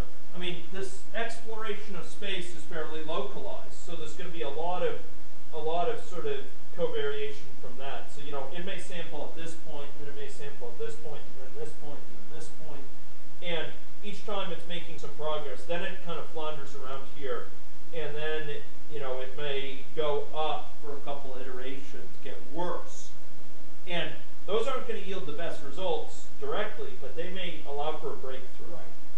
which then starts to yield much better results. And these, and then sort of it's on a roll again. Um, so in short, um, there's a lot of sort of carryover of state and knowledge from iteration to iteration. By contrast, realization to realization, there's really no carryover. All, You're, you're sitting at that point in whatever. Yeah. Whatever stochastics occur, yeah, there's, there's, um, you know, it, it just, uh, uh, you, you've got the same parameter values for each realization, but, you know, otherwise they're, they're varying independently in terms of stochastics or, yeah. So we can be reasonably, or reasonably confident that if I put uniforms across two of the parameters, that Yeah. it really is gonna spit, it may take a bunch of time, but it's gonna give a good look to the entire space. Okay, that's a good question. Um, Because I guess what I'd be concerned about is that it's, it says, hey, this one Right. region is really Right. fruitful. I'm really getting, so I'm going to spend most of my time here. Right. Whereas Right. maybe there's that little off ramp that you might Right. go that if Yeah. you went there long enough, you might Yeah. find that there's a better. yeah, yeah. So it might get stuck in the Rockies and never get to the Himalayas or something like that, searching for Mount Everest. Um, oh, not here yet, Pikes Peak, you know, um, uh, but it, it never gets to Mount Everest. Uh, yeah, that can happen. Uh, never even gets to Mount McKinley. Um, that can happen, and I'm not going to say it's going to uniformly explode the space because it's not. It is probably going to be concentrated in those areas that look fruitful. But a good algorithm should poke around enough that um, and have some persistence poking around so that it it um, you know tries tries nearby areas and if there's any glimmer of hope it will try to follow it but it's a, it's a really tough issue this issue of sort of how to explore really effectively. And one piece of it which is maybe what you're thinking um, based on your earlier questions bill is, is one piece of it is where do you start as well? Because uh, you know you could imagine if, if you just get dropped um, near the Rocky Mountains, and so if I get dropped in Utah by this um, by this um, uh, this helicopter, you know I might go up and down the Rockies, uh, find, Mount, Mount uh, Pikes Peak, and I'll find a bunch of other things in the Continental Divide, and who knows, I might follow them all the way up to Alaska or something like that, um, along that ridge and so on. But I'll never get to, to the Himalayas. On the other hand, if you if you drop me off uh, in a helicopter to hundred randomly selected spots around the world, and I happen to land in the Ganges Plain, and I, I sort of poke around, I may follow the foothills, and and oh, you know, I'm, I'm starting to get into to the Himalayas, right? Um, so starting points um, are a way to kind of um, offer extra leverage in terms of thorough explanation, right? And I, you know, this is a really interesting um, question as to sort of how different starting points vary here. And- Um, I, yeah, I guess could I also, since I've got the capability to, to, um, to use a fixed, uh, to use fixed start, to Yep. specify fixed points, then I could maybe, maybe run this, run it continuous, but then maybe I also want to hedge my bets and do just kind of a, okay, maybe I'm going to take a few, I'm going to explore it uniformly, but at kind of fixed spots, and then compare the two results to kind of, Right. Yeah. Um, yeah. You, you, you probably could do something like that. I mean, I, I'd have to like. I don't think when you say discrete as the option for exploring, I'd, I'd have to go back and and, and check. I, I don't think that like doing discrete, like choosing discrete here. I don't think that's going to guarantee it does all of them. Um, that it has to. Uh, I think it.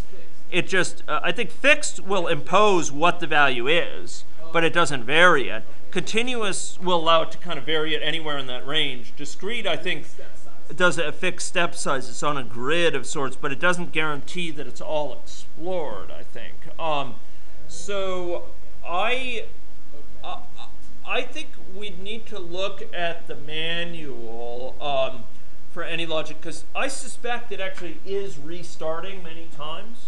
So in other words, uh, so so if you're familiar at all with Vensim's calibration algorithm, there's actually a, a bunch of uh, settings there that you could use, and some of them reflect the fact that when it so it's going to be trying to so Vensim is a more naive algorithm than AnyLogic. My understanding is the AnyLogic algorithm is more sophisticated, and yet even Vensim's algorithm has a has a the capacity to restart the initial location when it can't get any further in in you know a particular sort of sojourn.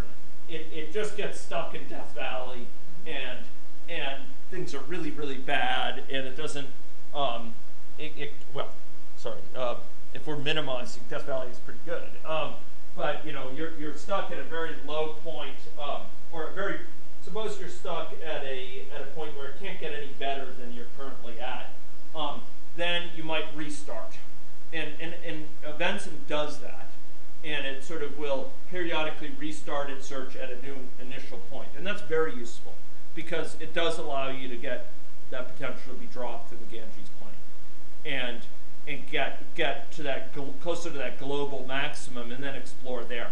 So it's less likely you'll get stuck in some backwater of the space or even in something that's locally optimal. Does that make sense? It does, what I'm thinking about is, is part of my challenge is how can you, because what I'd really like to do is drop, is drop my adversary in, in, in a valley. Yeah.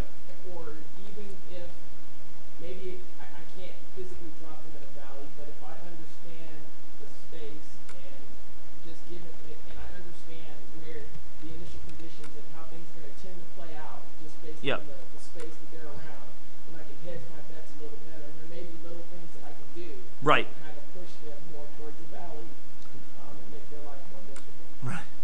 So, uh, yeah, you'll notice here in the just just sort of uh, to, to, to address some of your questions, I would suggest you um, you take a look at um, some of the um, some of the documentation here, like uh, adjust OptQuest engine settings, um, so fine tuning uh, the settings for OptQuest, um, and it it talks about um, you know some some ways you might be able to improve it, uh, and in general, I think um, you know t- uh, taking a look at um, uh, pa- take a look at, at the documentation might shed a lot of light because I'm presenting some high level stuff here, and I would have to go back and check about how it does things. What I do know is that it's routine for some simulation algorithms to restart, and I think this one may be one that restarts. But you'd want to check that. The other thing you could do is you could quite readily um, have it print out, you know, every, well, okay, here, folks, um, if we, let's suppose we wanted to get a list, let's put aside for the moment how convenient it is to parse it and so on, but suppose we wanted it to print out its position in parameter space. Um, suppose we wanted it to do that. How would we do that? How would we get it to print out its value in parameter space uh, for each replication? Let's suppose. Let's start with replication. How would we get it to do that for each replication? Okay, so parameters are parameters of what? They're parameters of of main here, right? Um, so, I mean, one way, and, and this may not be the, the best or the prettiest, but I mean, one way you could do it is um, in the startup code, you could have it print. Okay, so what is its what is what are the two things that are being varied again? It's it's is it infection rate and um, uh, infection probability and contact rate. So up in up in main, um, down main, we could have it we could have it do traceln, um, uh, you know, uh, we could have it print out the um, contact rate, right? Um, and and then we have a, a comma, and then we have it uh, the infection probability, right? And and we could have something like that, right? So here, um, at the beginning of each run, each realization at least, we're going to have it print out what the parameter values are, right? So if we did this, what we should see is, okay, so this is where it's exploring here. This is kind of a, a depiction of where it is. And it's mixed with these messages here, obviously. I could remove them. But, um, you know, uh, alternatively, I could have them tab separated and, well, watch this. I mean, um, I could I could say it. I might as well do it. Um, so uh, probably what I do is to make it even prettier. Maybe I'll um, I'll just do this. I'll have a tab between them, backslash t, and um, do this. And then what I'll do is I'll remove this kind of clunky, uh, excuse me, um, clunky stuff here where it's printing that out. Um, uh, hey, hey, um, there, uh, and then I can run this thing, and it will print things out in a tab separated form. And I do this with malice of forethought because now I can take this and I can just copy it and uh, here let's, let's let's run this for uh, for a, a wee bit. Um, I'm going to come back to this, okay?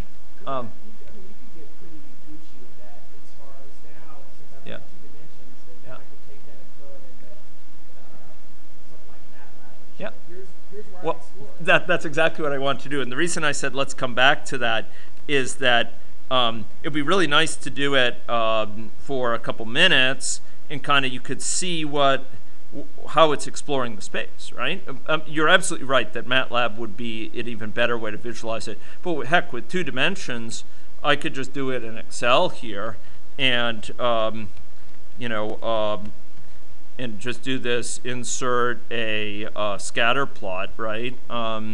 Something like that. And uh,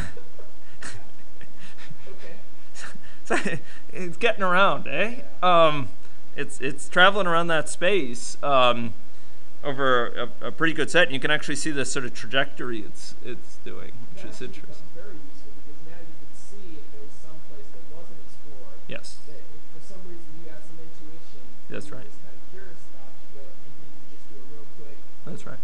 single run. What happened? you know? That's right. That's right. Now, now this gets um, less um, compelling visually when you have uh, n dimensions. Like if you had 10 dimensions of, of parameters, it's hard to visualize that. And you can do principal components, transforms, and so on to try to collapse it down to a, a smaller number. But the point is that um, it's uh, i- for two dimensions it's really easy to visualize for three you can actually still do it quite readily and, and you know uh, in MATLAB or what have you for four um, it, it starts getting harder to understand. You can have a, a, a animation of a 3D plot or something but for five you know it, it, it just adds on it piles on.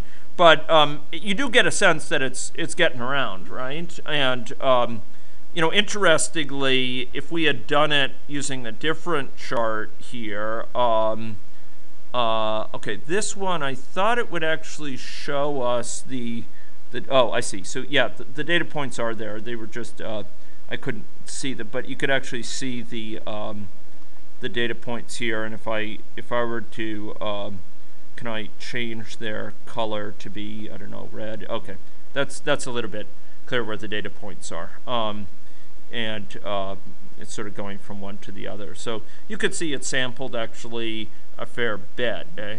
Um, and uh, and this is uh, this is a, a reflection of uh, you know it's sort of exploration of the space. So um, so that's kind of uh, an interesting thing to do, um, and can lend some insight as to um, uh, how it's how it's exploring. Incidentally, um, uh, oh, yeah. So uh, an interesting thing that I, I noticed there is that uh, these things actually are exhibiting some variability, sort of uh, uh, point to point.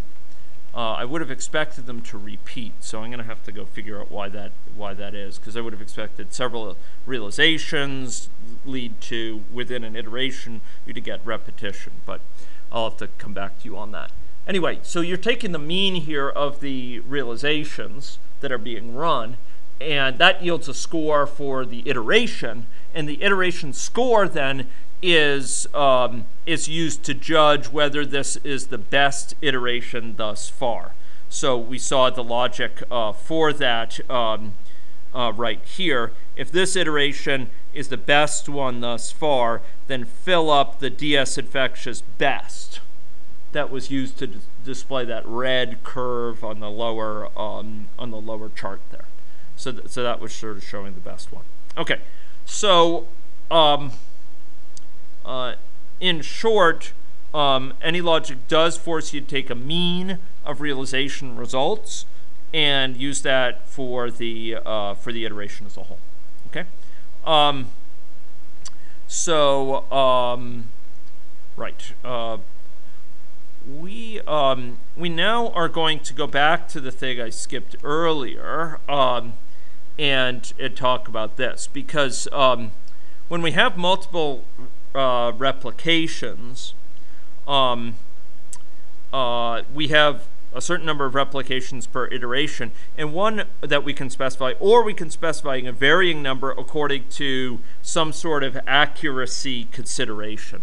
And the idea here is that um, we can specify here, and I'll, I'll go back one slide so you can see this. Um, if you look at this option, it's grayed out a bit. What it says is minimum replications, maximum replications, confidence level, and error percent. Okay, um, and I want to explain how those latter two relate to each other. Okay, um, so the idea here is that we are going to have some mean value, a mean value of the values of different realizations. Okay, and there's going to be a confidence interval around that that's estimated statistically based on the standard, based on the sample mean of, of the things we've observed and the sample variance of the things we've observed, how variable that is. There's going to be some estimated confidence interval. Okay, um, and the criteria here is that when that confidence interval gets tight enough that it's within error percent, some specified error percent of the mean, the sample mean that we've received, then we'll stop. So in other words, you specify this confidence interval. What confidence interval do you want to consider? And what within what error percent does it have to lie um, of the mean for it to be good enough to, to stop? So how narrow does this confidence interval have to be for it to stop? And over time, as you take more samples, the 80% uh, confidence interval for the sample mean. So in other words, we, we're taking the sample mean of these realizations, and that sample mean, that estimate of the um, of the mean of the underlying population of, of, of realizations is is getting tighter and tighter as you take as you take more and more samples. As you go from 10 samples, you're going to have an estimate of the mean of what all realizations would give. It's pretty crude still, or 5, it's going to be very crude. 10, it's going to be less crude.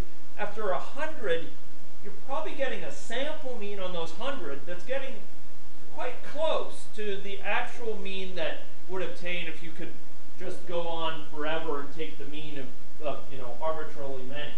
So this thing is getting tighter as time goes on. It's the sample mean of the realizations. And, and that sample mean is important, remember, because that's how we judge a, an iteration, according to the sample mean of its realizations. So this is getting tighter and tighter, and at some point, that confidence interval around the of the sample mean, associated with the sample mean, fits within a certain percent of the mean value. And at that point, it says good enough. That's, that's good enough for me. That's going to stop. And it will keep on, on sampling this until that's achieved. And you note here that if, if the values being, being returned are highly variable, this may take a longer, so in other words, if the values being returned from realization to realization are highly variable, it may take a longer time for this to be achieved. On the other hand, if it's returning virtually the same value every time, it may achieve this within two realizations or three realizations. In other words, two replications or three replications.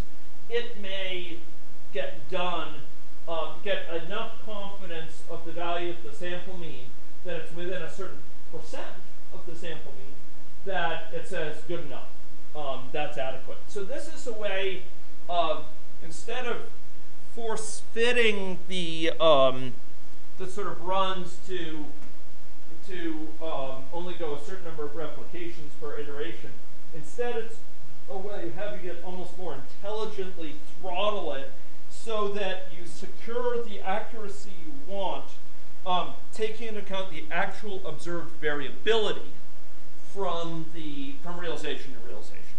Okay, so that's the idea behind that um, behind that component, and it's, it's important to recognize we're talking here as we saw in this case about the mean of the values received from the realizations. Does that make sense? Okay. Um, so um, that's um, that's the point there with the automatic throttling. Um, and uh, it's important to note that unless you have the random seed enabled here in the general tab, it's going to be returning the same value every time because it's going to be getting the same stochastic sequence. It's the same stochastic process. So yeah, I mean, if if if you were to do that um, here uh, and and were to take a look at the results, um, you know, and you were to say uh, fix seed, for example, um, what you should get out is uh, basically no gains from running multiple uh, realizations. It's it's going to basically you could see it in fact. Um, take a look at that. Um, so uh, by the way, while talking to you, I realized uh, what was going on here. So do you do you recognize something here? I was thinking that it would be um, printing out the same value five times in a row here. Um, in other words, fi why five times? Five, five, uh, Yeah, five realizations per iteration is what you mean. Yeah, yeah, exactly. So replications five. So I thought it would be printing out when I looked at the console, given that I'm reporting in main what the parameter values are, I thought it would list it five times, then go on to the next, go on to the next. But this was fooling me. And and I was musing as I was talking to you about why this was, and I, I suspected exactly this issue. Do you see what's going on here? multiple iterations coming out. Exactly. Exactly. So Goes back to that bouncing around. it, it's bouncing around. And, and so this is, be it fair warning to us all. It's not necessarily promising that it's running each uh, iteration sort of as a, as a whole unit, one replication by one replication at a time, and finishing that before going on to the next. Here, with multiple cores, it may on one core be doing one realization, one iteration, another for another, and, it, and in fact, it may be interleaving um, the realizations for different iterations. So this is probably for iteration, the very first iteration. It's doing one realization here, one realization here, one realization here, one realization here, and the final realization here. You notice it doesn't show up again because it's done all five. Similarly, this is the first realization, probably of the second iteration. Um, there you have it again, there you have it again, etc. So if we looked at what I pasted in here, part of what's confusing here is that um, it's like this this is appearing there it's appearing there it's appearing there. So it's not that it's it's going from this point to that point. It's more that um, uh, these are just different realizations for that. And one thing we could potentially do is try to have it only print out once per iteration. Um, and there's actually a way to do that. Um, so if we were to have it print out once per iteration, one thing we could do, for example, is, I guess it's in advanced, just as we rescue here, we rescue from main the contents of this, we could rescue the parameter values, and then we could use them in this uh, after iteration, we could just print out the appropriate parameter values. So in short, um, we could get them from, from root here, okay? Um, but I've been beating beating this horse pretty good, and um, and I think I think this is pretty much wrapping up what I wanted to. Oh, yeah, there's actually one or two small things I, I skipped. So one thing I skipped was this. Um, so there's this other tab that says constraints, and the basic deal is um, you can have constraints which basically veto or nix, as it were, a a given um, iteration based on the values of parameters. So maybe in general you want to explore parameters in these range, but you never want two of the parameters to add to more than three or something like that.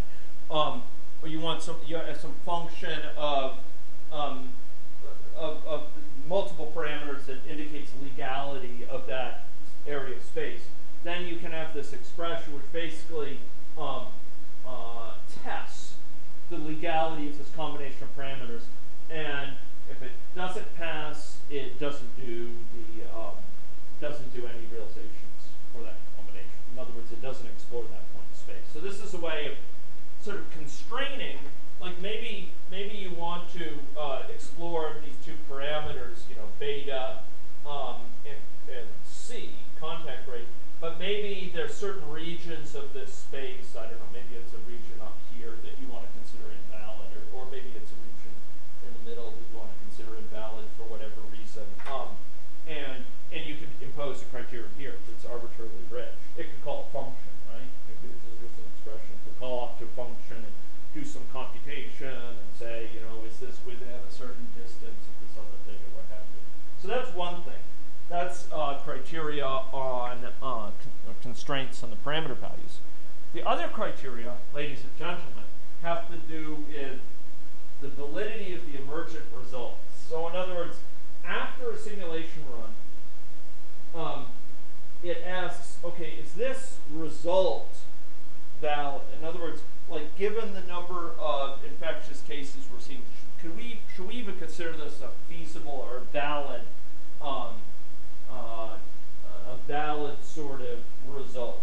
So whether the solution is feasible, and you might want to toss this out if there's something obviously unrealistic about it. For example, if the number of infections goes above some value, or if the simulation, if it dies out altogether, perhaps the infection dies out altogether, you know that, um, you know that it's not in fact dying out, um, and you want to constrain it to only those cases where the infection is, is staying endemic or what have you, you could test that. So this is testing parameter values before any runs. This is testing the results after the run to figure out if it's feasible. Okay. So, um, and and if you're going to have these filled in, there may be some extra logic because you, you you're going to have some criteria like, um, uh, and I guess it's sorry, it's um, uh, um, so so there's um, also something where you can ask about like get get best feasible iteration and so on, and so you can ask about feasibility. Here we're sort of glossing over this issue, but um, suffice it to say, if you have those criteria, you might want to have additional logic having to do with um, whether something is feasible or not, and just ignore it if it's not. Um, okay, so a couple considerations here. Adding constraints helps increase what we call identifiability. So if, if you have more data in general to constrain things, it will help improve your ability to pin, pin down the parameter values to different areas of space, to, to certain areas of space. It'll constrain the possible interpretations of parameter values. Adding parameters to tune increases the size of the space to explore. Each successive parameter adds a new dimension to the space, which is pretty darn significant. Adding too many parameters to tune can lead to undetermined, underdetermined situation where you have many possible interpretations of the situation, many possible readings of, of what's going on. And for agent-based modeling, this is a particularly, um, it's, it's something that's worth reflecting on. Because in agent-based modeling, more so than, than classic uh, aggregate modeling, we have many moving parts. And we may have data about some situation. Say in my area, ep- in epidemiology, we may have data on rich data on number of people infected, and number of people dying, and so on. But if we have an agent-based representation of the population, if we were to try to attempt to tune, you know, parameters for every agent at the same time, there's many possible interpretations of who particular is dying, who particular is getting sick, and so on. It's going to be totally underdetermined. And so when we have an agent-based model, often uh, even more so than when we have a, an aggregate model, we have to very consciously try to uh, simplify what we are calibrating so that we don't get just in the situation where there's too much varying and we can't come to any clear understanding. So we're going to have always some uncertainty typically in how it fits, how it um, operates at the agent-based level. Um, and then it's, it's worth noting that uh, once you get a set of parameter values that seems to be the best, um, it's worth uh, reflecting on the need to be humble, the need to have some humility with respect to those estimates, because that's all with respect to the constraints of the model. It's all with the assumption in place that your model is capturing, is doing a good job capturing the dynamics. So that doesn't necessarily give the true values of those parameters. If your model's off, it may affect the parameter values that are estimated. And so to that point, Yeah. let's say that I've got, let's say that the, uh, the data for depth that Yeah. I have is at the county level. so Yeah. Some higher level. Right. So in that case, would I put in UIs then to make sure that as opposed to trying to get at the individual agent level, Yeah.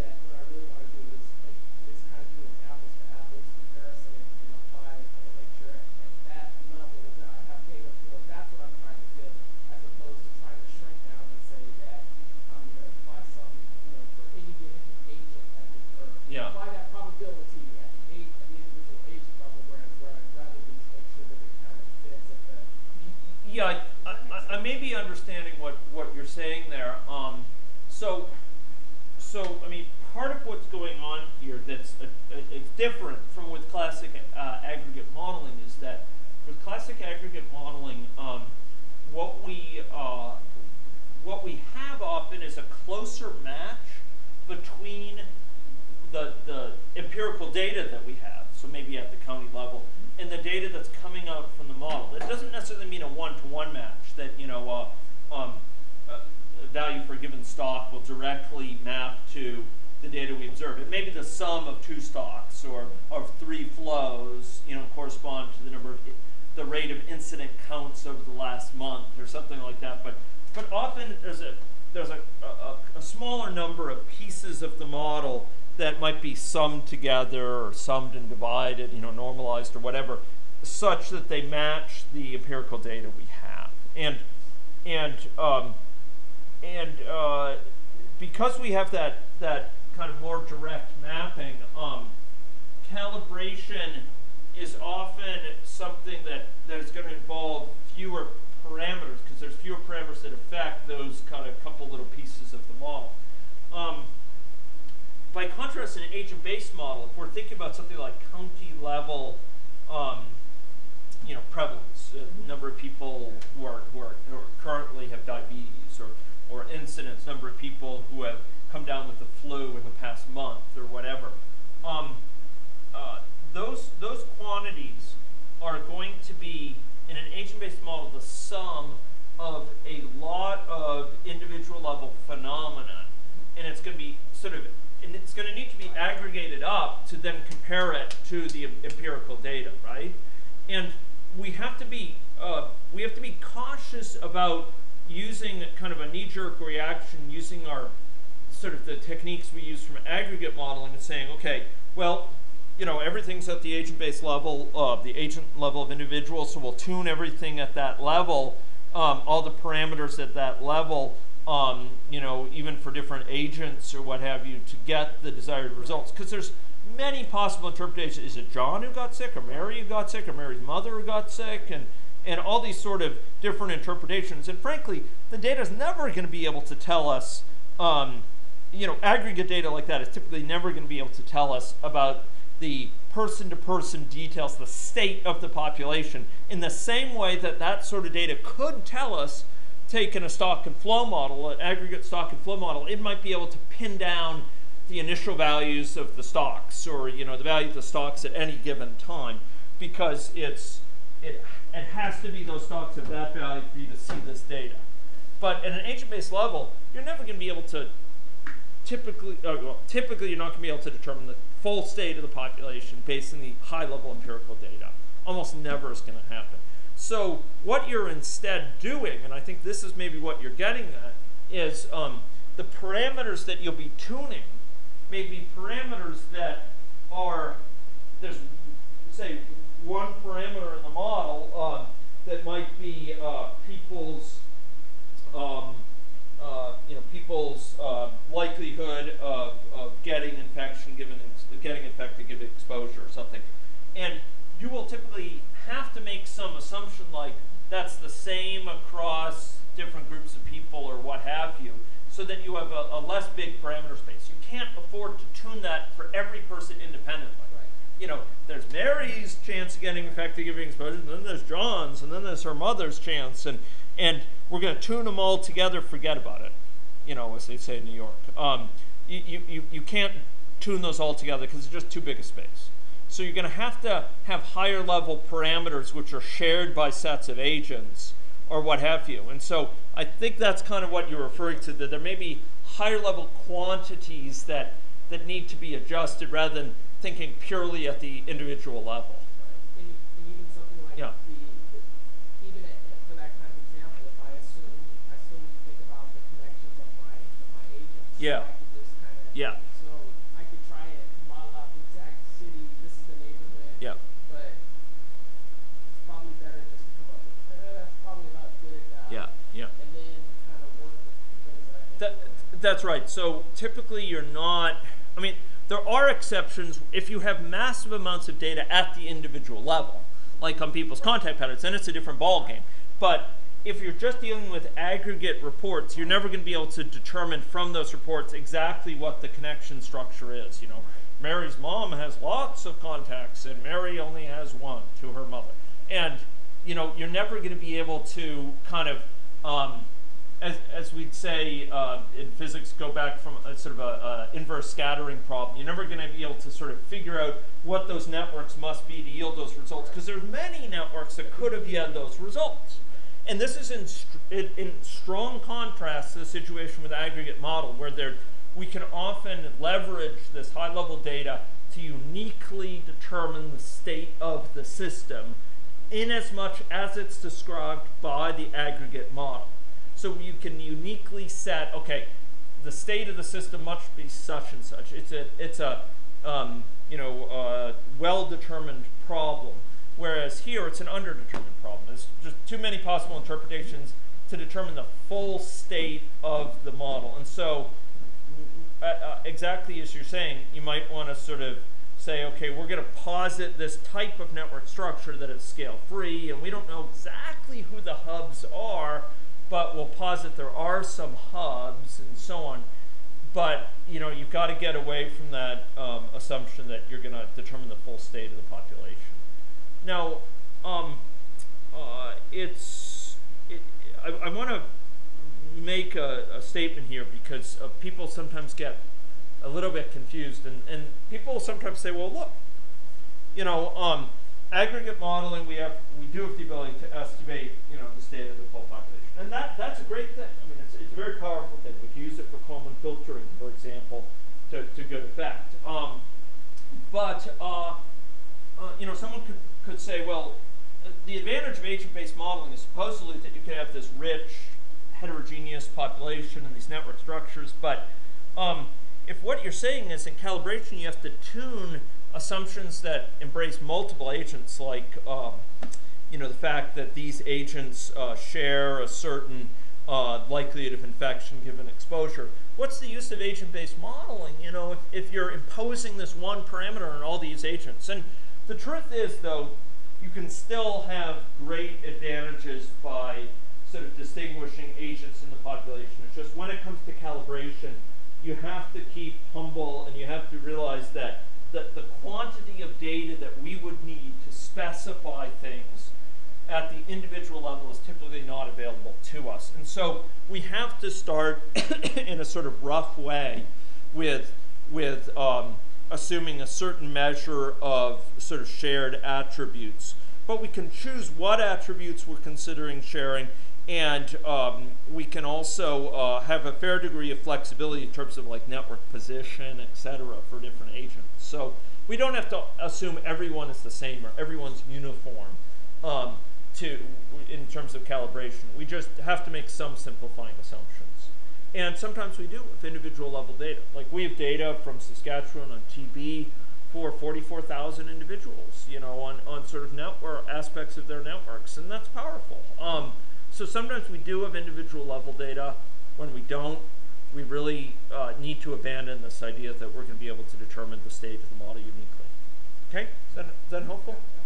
A- any other questions on this before I um, I um, uh, wrap up? Oh, oh, a few other other other things here. Okay, maybe I'll maybe I'll just continue if there's no questions right now. Um, okay, so it turns out calibrate. I've spent a huge amount of time in my life calibrating models, calibrating dynamic models, um, and it's a really interesting exercise. Um, again, it's one of the most valuable parts of modeling because it's when often you are woken up and it says the model just won't jive. It just won't work. You got to go back and rethink your assumptions. It's bittersweet. It's painful for your schedule plans. It's powerful for your learning, and that's the most important thing: the learning. Um, and after all, what better way to extend your schedule than to learn and to, to learn substantively about the issue? So I would argue that it's it's a great advantage when we when we see that you know no two ways about it. We have to challenge either the data or our assumptions. Um, now, um, often you will run into problems with calibration. And I assembled some slides here based on my experiments uh, with calibration. I, I've gotten a lot of experience with it, and it turns out if you're if you know what to, how to approach certain issues, you can quickly zero in on what's going wrong, and you can use that to enhance your learning. Otherwise, you can just sort of wander around, and you don't know why it's not matching up, and it's just it's just you know um, you squeeze the balloon here, it pops out there. You squeeze it there, it pops out here. You don't know. You, don't get really get any any insight as to what's going on. So there's a couple of ways that that if you're running into calibration problems, is dealing with calibration problems, that you can gain insight. Um, one of the best ways is you say, um, okay, this thing's not calibrating adequately. I think I could do better than it. So, so if I'm unhappy with it, so, so, what, what do you think you could do better? What's your better interpretation? And so often what you can do is ad- adopt the best values it's identified, and then try to adjust them so that you think you could do better. Um, and if you find that you can improve it, that's a sign that maybe the parameter space is too large. That that you've actually had some insight, you're doing better than the calibration. Calibration's having problems. I've almost never found this is the case. Normally, when I tweak the parameters such that I think it should improve, it gets worse. And then I try to see, okay, how, why did that make it worse? I thought it would make it better. What actually made it worse? And often, the model isn't responding in the way that I anticipated from the parameter change. It's responding in a counterintuitive way or a way that I thought I, I didn't I didn't expect. And because of that, I I learned, oh, okay, so that's what it's running into. That's why it can't do any better its interpretation of the situation. Because often, I guess I should say with calibration problems, often what happens is it gets to a certain point and, and like it can match this, but it can't match that. And I can't understand why I can't match both at the same time.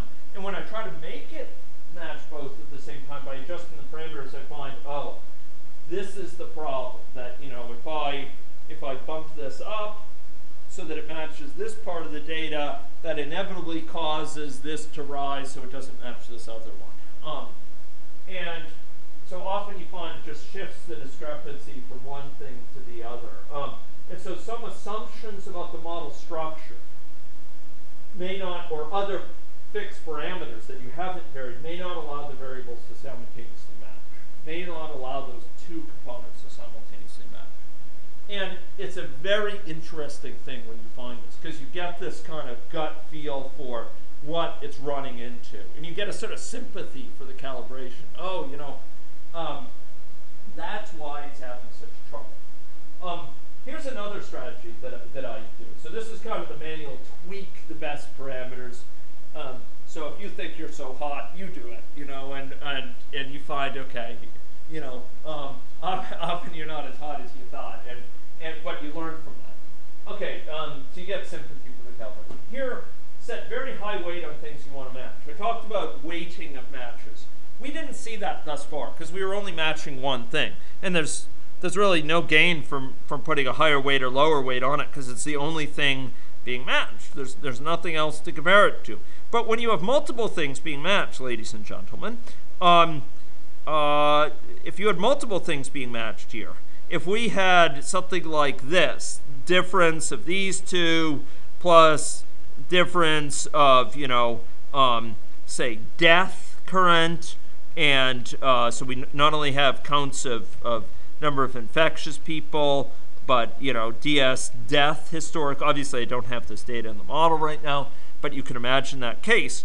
Now, if I had that, right now they're weighted equally. This difference is equal to that difference. But you know, I could make the the ones for death weighted one tenth as much as the ones for for uh, for the uh, point estimates of infectious cases. Um, so if you have weights, and I would encourage you to use weights if you're matching more than one thing, um, adjust the weight. So if it's not matching good enough for both, if it's matching poorly for one of them, bump up the weight of that. Bump it up really high, and then see what it does to the other matches. Again, this is kind of like squeezing the balloon in one place. You see where it pops out, but you do it in a very controlled way. So you set this weight high, see where it pops out for that. Set that weight high, see where it pops out. And again, it gives you some understanding on, okay, so that's the fundamental trade-off here. That if it tries to match this, these other parameter estimates are high, and so no, it can't match that. If it tries to match that, those parameter estimates are low, and then it can't match that. That's really helpful, and it's uh, very easy to do with, with weights.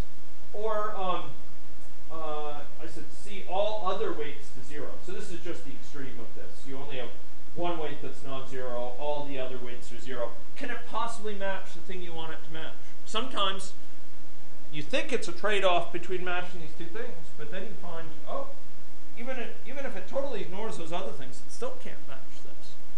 Maybe you've got a model that, you know, um, can only exhibit certain modes of behavior, and and uh, there's no way it can match um, the sort of thing you're you're asking um, asking it to match. So um, those some comments. Here's some other um, experiments. Increase the parameter range. Maybe your parameter range is too tight. Particularly, ladies and gentlemen, if you have some uh, parameter estimate that comes out of calibration that's on the edge of its range. It's on the, the, the very edge of the legal values. You're allowed to vary from 0 to 1, it's at 1. You're allowed to vary from 1 to 10, it's at 10, or it's at 1. Um, you might want to wonder, okay, what's going on here? Like, why is it like the end of that range? If I were to extend that further, would it go much further, etc.? Um, increase the number of parameters. Maybe it's too constrained. You got to do this very carefully, though. Um, examine the impact of change model structure. Add an initial state in that state chart for people who are exposed but aren't yet infectious, for example. Um, allow people to die instead of just assuming that that um, everyone survives, what have you. Um, run for a larger number of optimization runs. Maybe it's not just not running uh, far enough to get to find that peak of Everest. And then find other estimates for uncertain parameters. Maybe there's some you're estimating a whole bunch of uh, of, of parameters um, through calibration. Maybe you can find better estimates. Put in rough and ready estimates, so you're not trying to calibrate so many. Um, okay, so cross checks. Are the calibration values unique? Um, like when you run it from multiple starting points and it gets to a very good value, does it get to the same estimates for the parameters? Are they totally different? Um, do the different interpretations lead to parameters that trade off in some structured way? So either this is high and that's low, or that's low and this is high. Um, uh, should have phrased that differently, but you know, A is high and B is low, or A is low, B is high. Um, and uh, you know, if you have different interpretations, if you have two matches, A high, low, B low, or or or A low, B high, um, see if you can get some external validation for it, collect more primary data.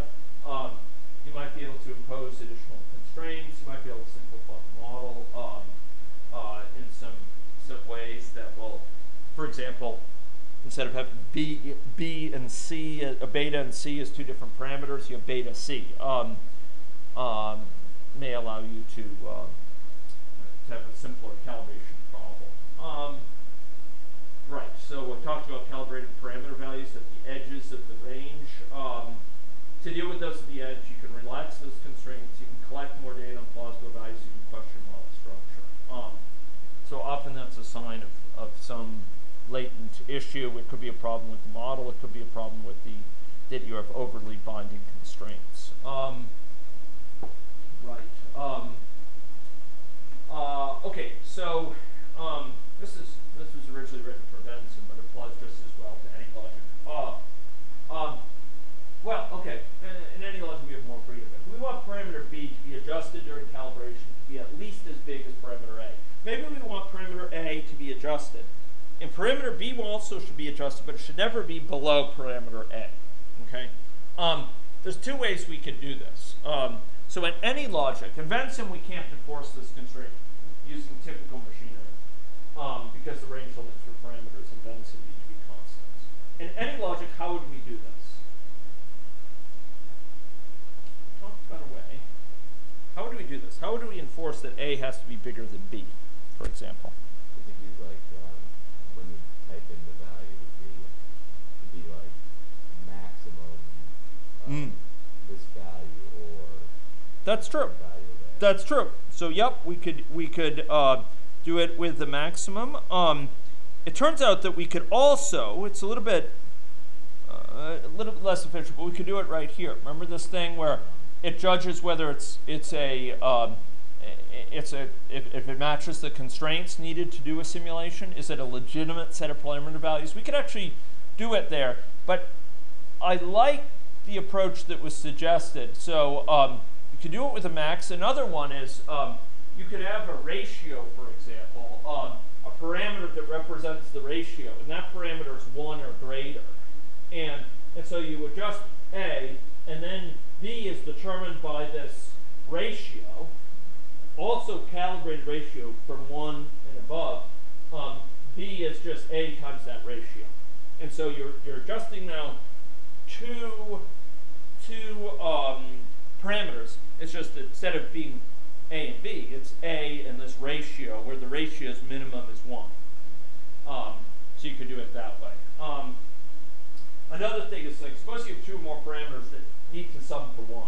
Maybe it's the fraction of the initial population, a certain number of or states, or what have you. Um, and uh, if, if, need them to sum to 1, you don't want to pick them independently and say, oh, do they sum to 1? Nope, throw it out, throw it out. Um, that would be wasteful. So instead what you could do, for example, is um, you could take, uh, have value for 1 and then have the other be 1 minus that one, for example. Or if you have, if you have n that need to sum up, it's, it's actually a little bit more tricky, um, but you could, for example, draw three three values and then sort of uh, normalize them. So, so maybe we have three that have to sum up, and so we could draw A, B, and C randomly, and then have one parameter be a fraction A over A plus B plus C, another be B over A plus B plus C, etc. Um, um, yeah, calibrating initial conditions is one of the best things to, to calibrate, um, and it applies in an agent-based model as well as system dynamics. I should probably say just a little bit about calibration regression, because sometimes calibration strikes people as very similar to regression. Um, so uh, in regression, linear, logistic, nonlinear regression, we're seeking to find parameter values that allow the best match of model and data. It has the same sort of feel in a way as curve fitting. Um, uh, but um, for for nonlinear simulation models, um, as in nonlinear regression, there's no closed form solution that will give you the best parameter values in a symbolic form based on the definition. The big difference for a lot of regression models is that, and I'm not dealing here with uh, non-parameter, um, uh, not, I'm dealing here specifically with sort of uh, explicit parameterized models. Uh, the functional form in many cases is, uh, is given explicitly for regression models. Whereas for simulation models, the behavior, and this is a deep point, and it's one I haven't really emphasized, but it's a deep point. For simulation models, the behavior is only implicitly specified.